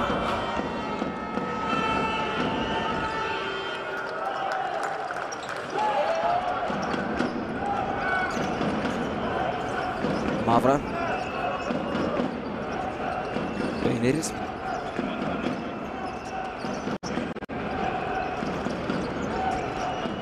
Darižas Lavrinovičius krenta po krepšiu, tarsi norėtų pražangos prieš Osvaldo Lisevičių. Ten jos vargu ar buvo. Darižas nelabai stengiasi laikytis ant kojų.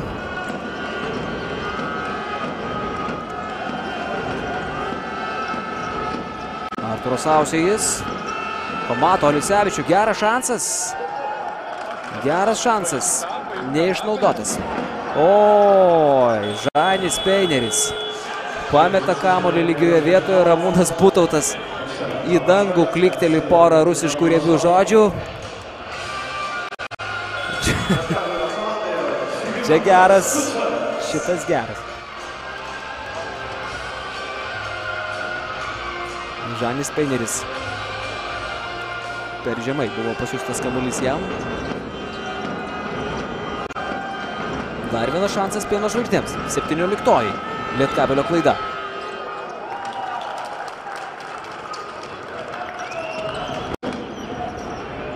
Peineris.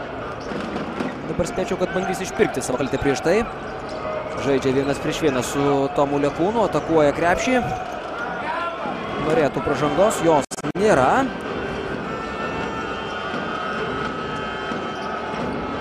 Galeckas atspėjo šį sumanimą Daričias Labrinovičius ir išgelbėjo pieno žvaigždės koja liestas kabolys.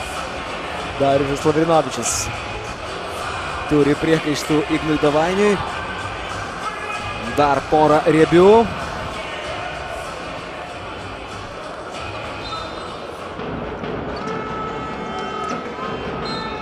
Ir dabar ketvirtoji komandinė pražanga Lietkabeliui.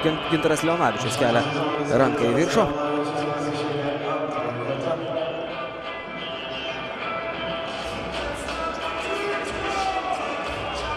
Lietkabelis dabar jau bus priverstas daryti tai, ką stengiasi daryti pasvalys. Gintis be pražangų. Pražangos jau siūstų prie baudų metimo linijos pieno žvaigždės. Arturas Ausiais šiek tiek atsistumė Gintarą Leonavičių, dabar meta iš trijų taškų zonos ir pataiko Arturas Ausiais. Štai dėl ko mes įskyrėm šito krepšininko faktorių, nepaisant jo labai prasto žaidimo pirmoje rungtinių dalyje, tritaškiai metimai yra Arturo Ausijo darbovietė jau visą jo karjerą.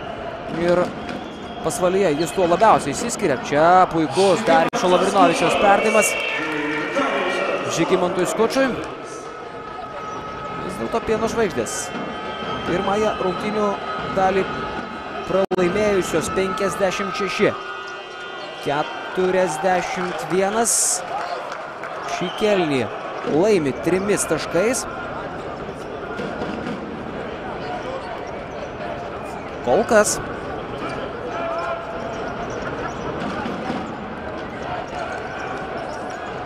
Leonavičius prieš Arturą Ausį žaidžia pats ir štai taip. Susidoroja su Latviu Leonavičius.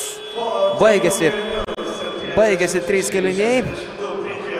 76-62 Panevežio Lietkabelis yra arti pergalės šiandien. Bet dar 10 krepšinio minučių liko. Mažiausiai tiek. Trumpa pertraukėlės į Dorenoje.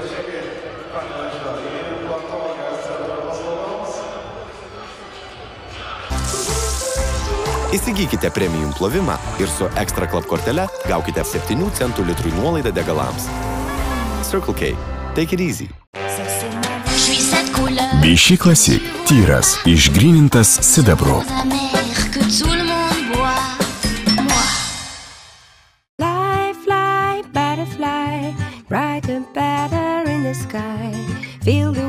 Skrydžiai į Aziją, JAV ir Europą su Ukrainos avialinijomis.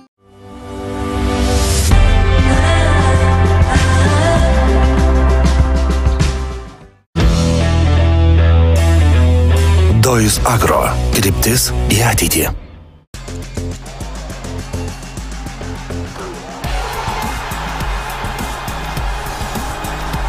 BetSafe. Lažybos. Kazino. Išalkote pergalių. Restoranuose Charlie Pizza pasitikite jas ragaudami naujas pizzas su nuolaidomis net iki 66 procentų. Charlie Pizza - taikliausias pasirinkimas.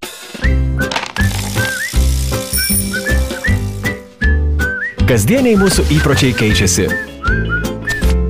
Draudimas taip pat. Kompensa - asmens draudimas su pagalba.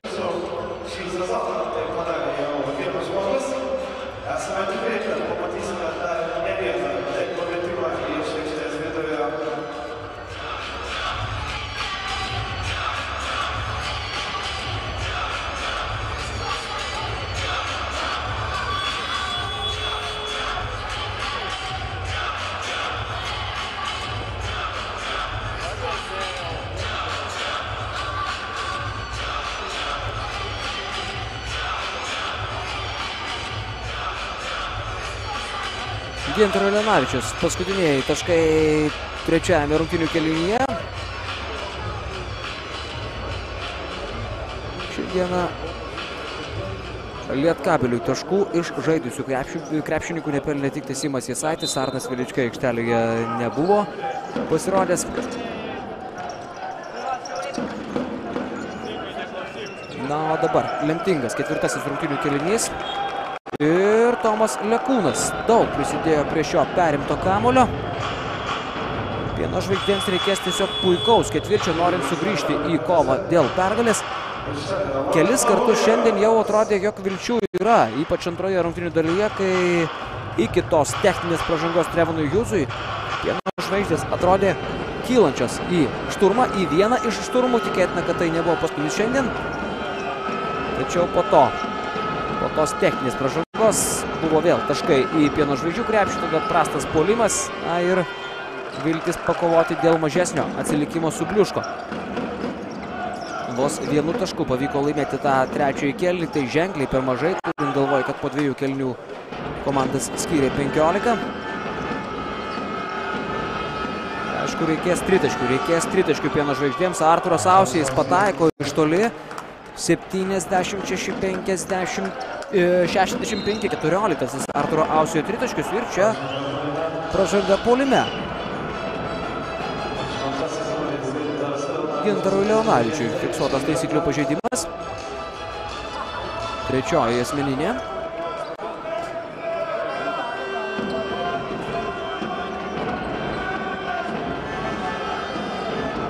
Martinas Varnas. Palašovas. Ausiai žingsniai. Taip, dabar jau persistengė Arturas Ausiais.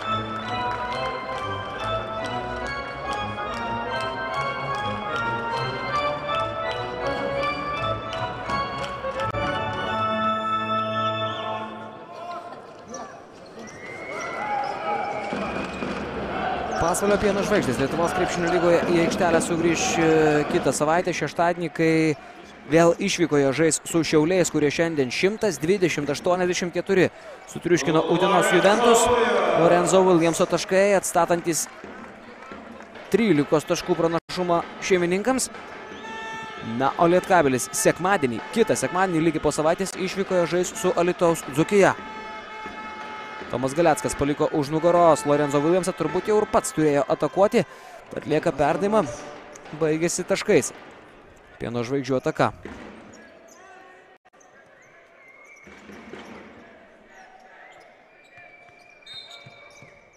Dabar jau Tomui Galeckui pražanga prieš Lorenzo Williamsą. Trevonas Jūzas ilsėjęsis gana ilgai. Užsidirbo jis techninę pražangą trečiojo kėlinio viduryje. Grįžta į aikštelę dabar.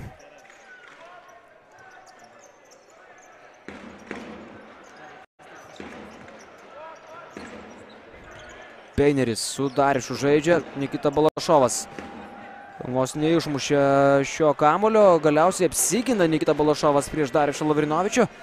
Iš dėkingos situacijos prameta brolis. Pozicija buvo gera užsiemęs. Arturas Ausys ir klūpteli, netgi klūpteli. Gintaras Leonavičius jokių variantų apsiginti neturėjo ir Arturas Ausys pelno savo 17 tašką. Štai ko reikėjo Latvijui. Vieno kito pataikyto tritaškio. Pats užsikūrė Arturas Ausys su likjais. Dabar jau yra įmetęs 5 tritaškius iš 10, pelnęs 17 taškų. Komanda skiria 8 po ilgokos pertraukos. Williamsas. Ir atkovoja kamuolį Trevonas Jūzas. Ir, ir išsaugo į savo komandai.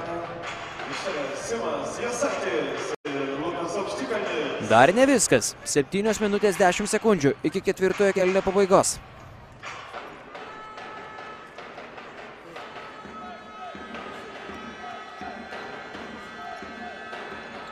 Lekūnas. Pražanga polime. Pražanga polime. Persistengė Tomas Lekūnas. Nereikalingas judesys, jokios persvaros juo. Tomas Lekūnas pasiekęs nebūtų. O tai dar yra ir ketvirtoji pražanga. Taigi Hjūzas, Maniga, ir Lekūnas jau turi po keturias asmeninės pražangas pieno žvaigždžių stovykloje. O tai buvo labai svarbi ataka, ypač psichologiška ataka, kurios metu pasvalys galėjo priartėti prie Lietkabelio taip arti, kaip jau senokai buvo. Pirmajame kilinyje, kad buvo. Darišo perdavimas Kučiui ir šio 18 taškas.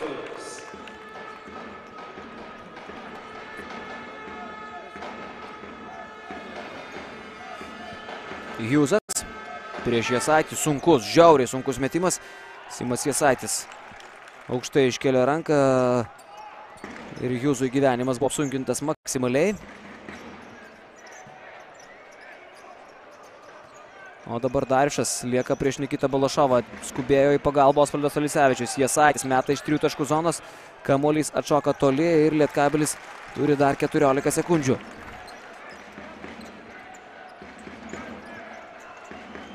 Prieš kur kas lėtesnį Balašovą likęs Williamsas. 3 taškai.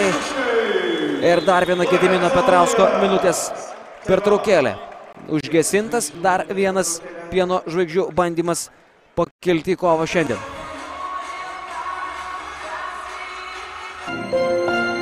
Brandus, tirštas, sodraus skonio. O šis švelnus, lengvas, su gaivia rūkštele. Dvaro kefyras. Skaniausia renkatės jūs.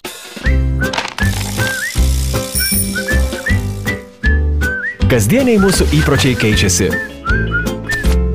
Draudimas taip pat. Kompensa. Asmens draudimas su pagalba. Klasiokai, negalės dalyvauti susitikime. Mane užpylė.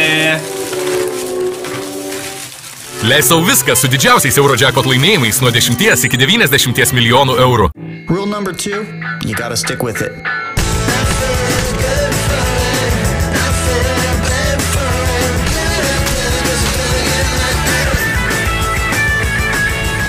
Canes, change your soda. Na, kai įsimėtė Arturas Ausėjas pieno žvaigždėse, šiandieną sumetęs 5 tritaškius iš 10 ir pelnęs 17 taškų, pieno žvaigždžių komandos gyvenimas šiek tiek palengvėjo antroje rungtinių dalyje. Kita vertus, sustabdyti Lietkabelio tritaškininkų niekaip nepavyksta šiandien svečiams. 11 tritaškių iš 18 sumetė Lietkabelis. Vienu metu tas tritaškių procentas buvo ir dar įspūdingesnis. Dabar Lorenzo Williamsas įkalė tolimą metimą per Nikitą Balašovą ir vėl komandas skiria 13 taškų. Tiek po krepšių, tiek iš toli dominuoja Panevežys polime šiose rungtynėse. Pirma rungtynių dalis apskritai buvo įspūdinga, per ją surinko net 56 taškus. Aikštelės šeimininkai dabar per 14 minučių antroje dalyje yra pelnę gerokai mažiau, 27, bet to, ką susikrovė per du kelnius, Lietkabeliui kol kas pilnai pakanka. Ir tuos du kelnius Gediminas Petrauskas galės prakeikti. Jeigu niekas nesikeis, Nikita Balašovas deda kamuolį iš viršaus. Galingas Ruso skrydis ir vienas gražiausių epizodų šiame mače.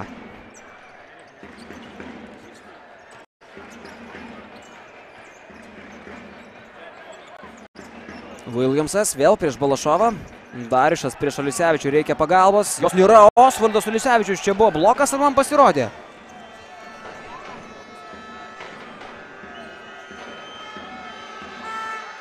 Džeihensas Maniga. Trys taškai krepšyje. Ramūnas Butautas minutės pertraukėlės neprašo. Liko penkios minutės iki ketvirtojo kėlinio pabaigos ir vėl turim intrigos. Nu vis dar įdomus tas Darišo Lavrinovičiaus epizodas, kai paliko už nugaros Osvaldo Lisevičių. Kasgi ten atsitiko? Prastas buvo kampas, iš kurio pats stebėjau tą epizodą. Čia Žygimantas Kučias kartoja savo bandymą.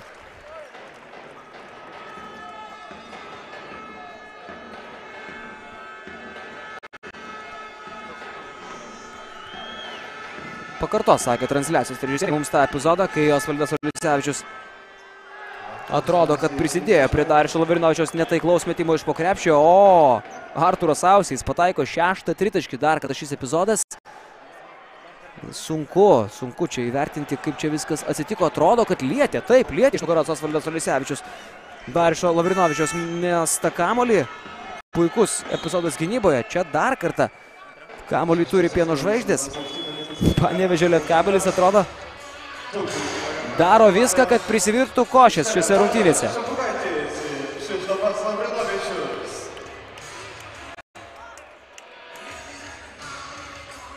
Pieno žvaigždės reikia pagirti už lengvumą ir aišku Arturą Ausijų iš tritaškių pataikymą.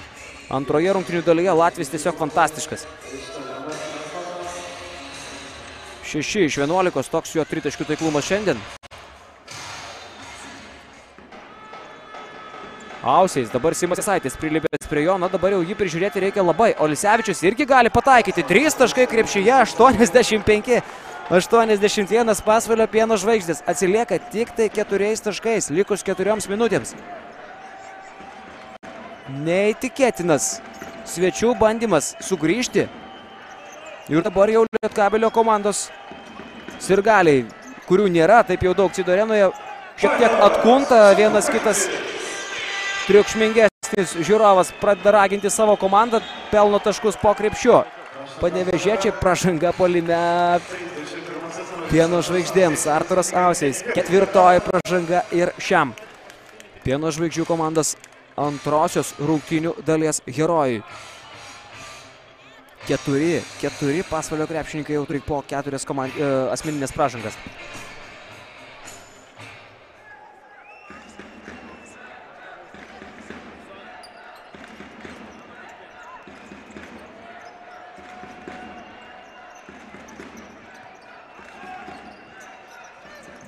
Pražanga Kšištofui Lavrinovičiui. Polime.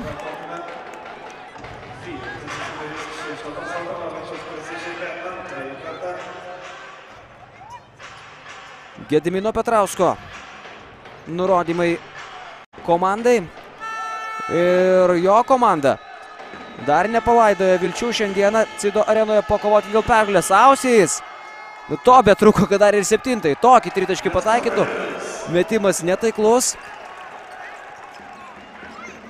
Jasaitis nesiryšta metimo iš trijų taškų zonos, o turbūt galėjo tai daryti. Dabar pasakytų Lietkabelio komandos gerbėjai. Kšištofas Lavrinovičius buvo nepatogioje padėtyje gaudant šį perdavimą. Štai dar kartą, kaip Posvaldas Olisevičius padirbėjo gynyboje, jog brolis nesulauktų perdavimo. Maniga. Pražanga ir du baudų metimai.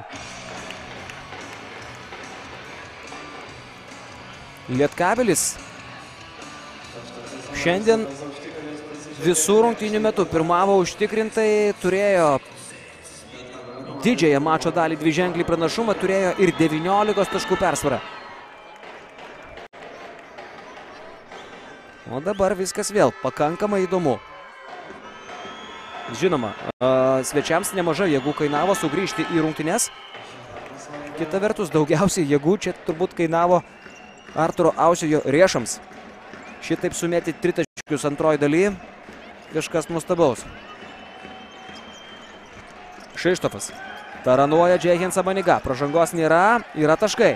Ne. Nėra ir taškų. Kova dėl kamulio ir jis atitenka pieno žvaigždėms. Kšištofas Lavrinovičius nepataikė iš neblogos situacijos. Štai dar kartą. Na čia atrodytų buvo galima švilti pražangą. Čia Nikita Balašovas šiek tiek sutrukdė broliui to pakako, vėliau Čiapukaitis su kamoliu išeina už šoninės linijos.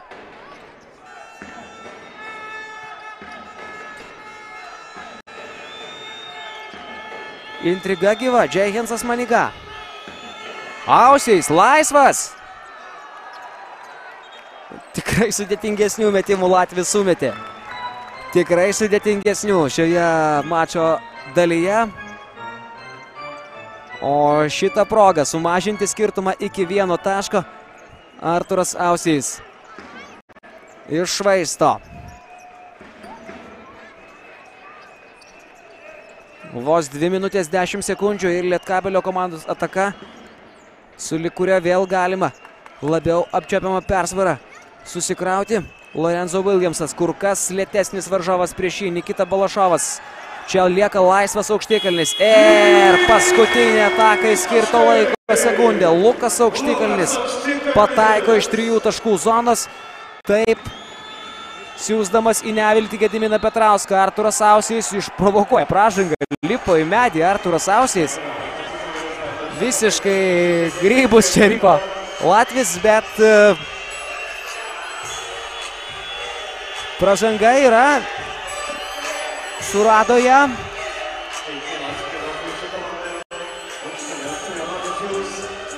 Ir stos prie baudų metimų linijos.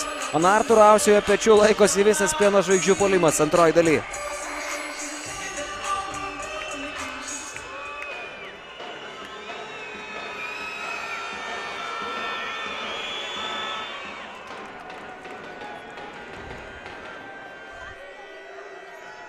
21 taškas. Ir 22.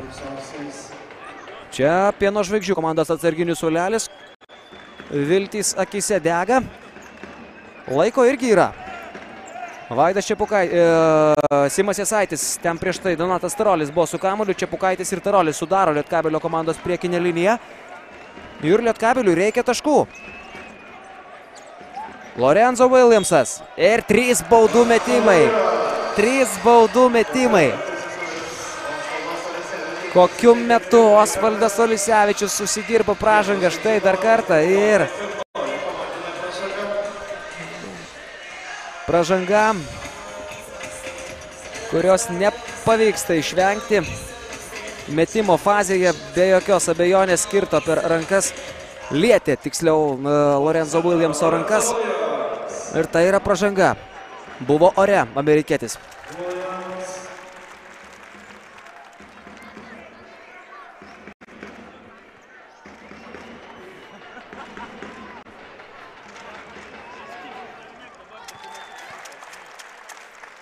Lorenzo Williamsas šiandien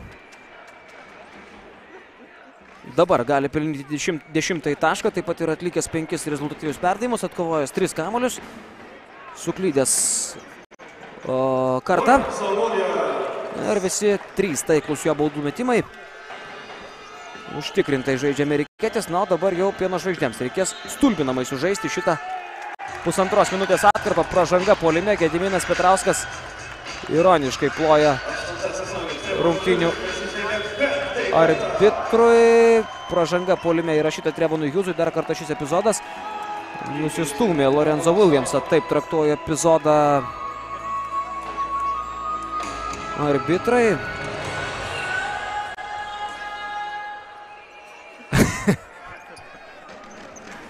Citorianas pranešėjų ir garsistų. E, komanda taip pat pluša ironiškai grodama Titaniko melodijas, išlydint Trevoną Hughesą. Williamsas prieš Balašovą. Ir rezultatyvus perdavimas amerikiečiui. Čiapukaičio taškai, tai jau yra viskas. Šiandien 10 taškų vėl skiria komandas. Taigi pieno žvaigždės buvo arti to, jog gal net ir pakovotų dėl pergalės paskutinėmis mačo sekundėmis, bet to padaryti jau nepavyks. Arturas Ausijas prameta iš trijų taškų zonos, panevežė Lietkabelis vos neprisidarė savo labai labai rimtų problemų. Tiesą pasakius, jų jau buvo prisidarę panevežėčiai, bet didesnių komplikacijų išvengti uh, pavyko. Šiandien, taigi, Lietkablis nors ir turėjo vargo, bet iškovos šiandieną 16 pergalę Lietuvos krepšinio lygoje. Pieno žvaigždės patirs 15 pralaimėjimą, taigi turnyro lentelėje Kauno Žalgiris po šio savaitgalio. Ir toliau vienvaldys lyderis, 21 pergalė, 3 nesėkmės, Lietuvos rytas 20 pergalių, 4 pralaimėjimai, e, Neptūnas e, tvirtai trečias, 18-6, Lietkabilis ketvirtoje vietoje su, 15 laim, su 16 pergalių bus ir 8 pralaimėjimais. Pieno žvaigždės Šiauliai ir Juventus turi po tiek pat pergalių, 9 pergalės ir po 15 pralaimėjimų. Na ir turnyro lentelės apačioje Alitaus Dzukija. Septyni laimėjimai, aštunta vieta, devintoje pozicijoje Nevežis su šešiais laimėjimais ir Vytautas su penkiomis pergalėmis dešimtoje pozicijoje. Baigėsi įvykiai Panevežėje. 95-85 toks galutinis rungtynių rezultatas ir įvykius čia jums padėjo stebėti Karolis Tiškevičius. Atsisveikinu iki kitų transliacijų. Dėkui žiūrėjusiems ir geros naujai prasidedančios darbo savaitės visiems jums. Iki.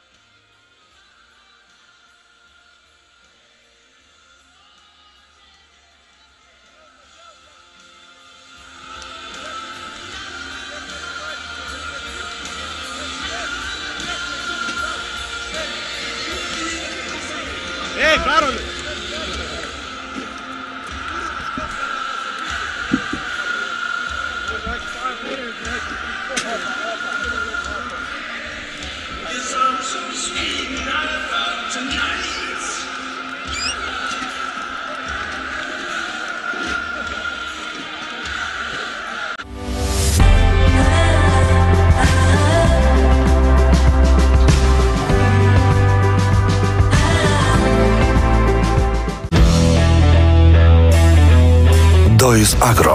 Kryptis į ateitį.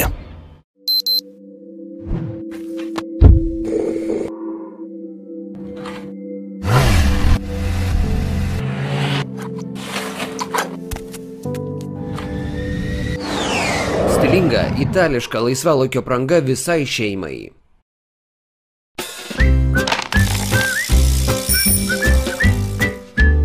Kasdieniai mūsų įpročiai keičiasi. Draudimas taip pat. Kompensa - asmens draudimas su pagalba.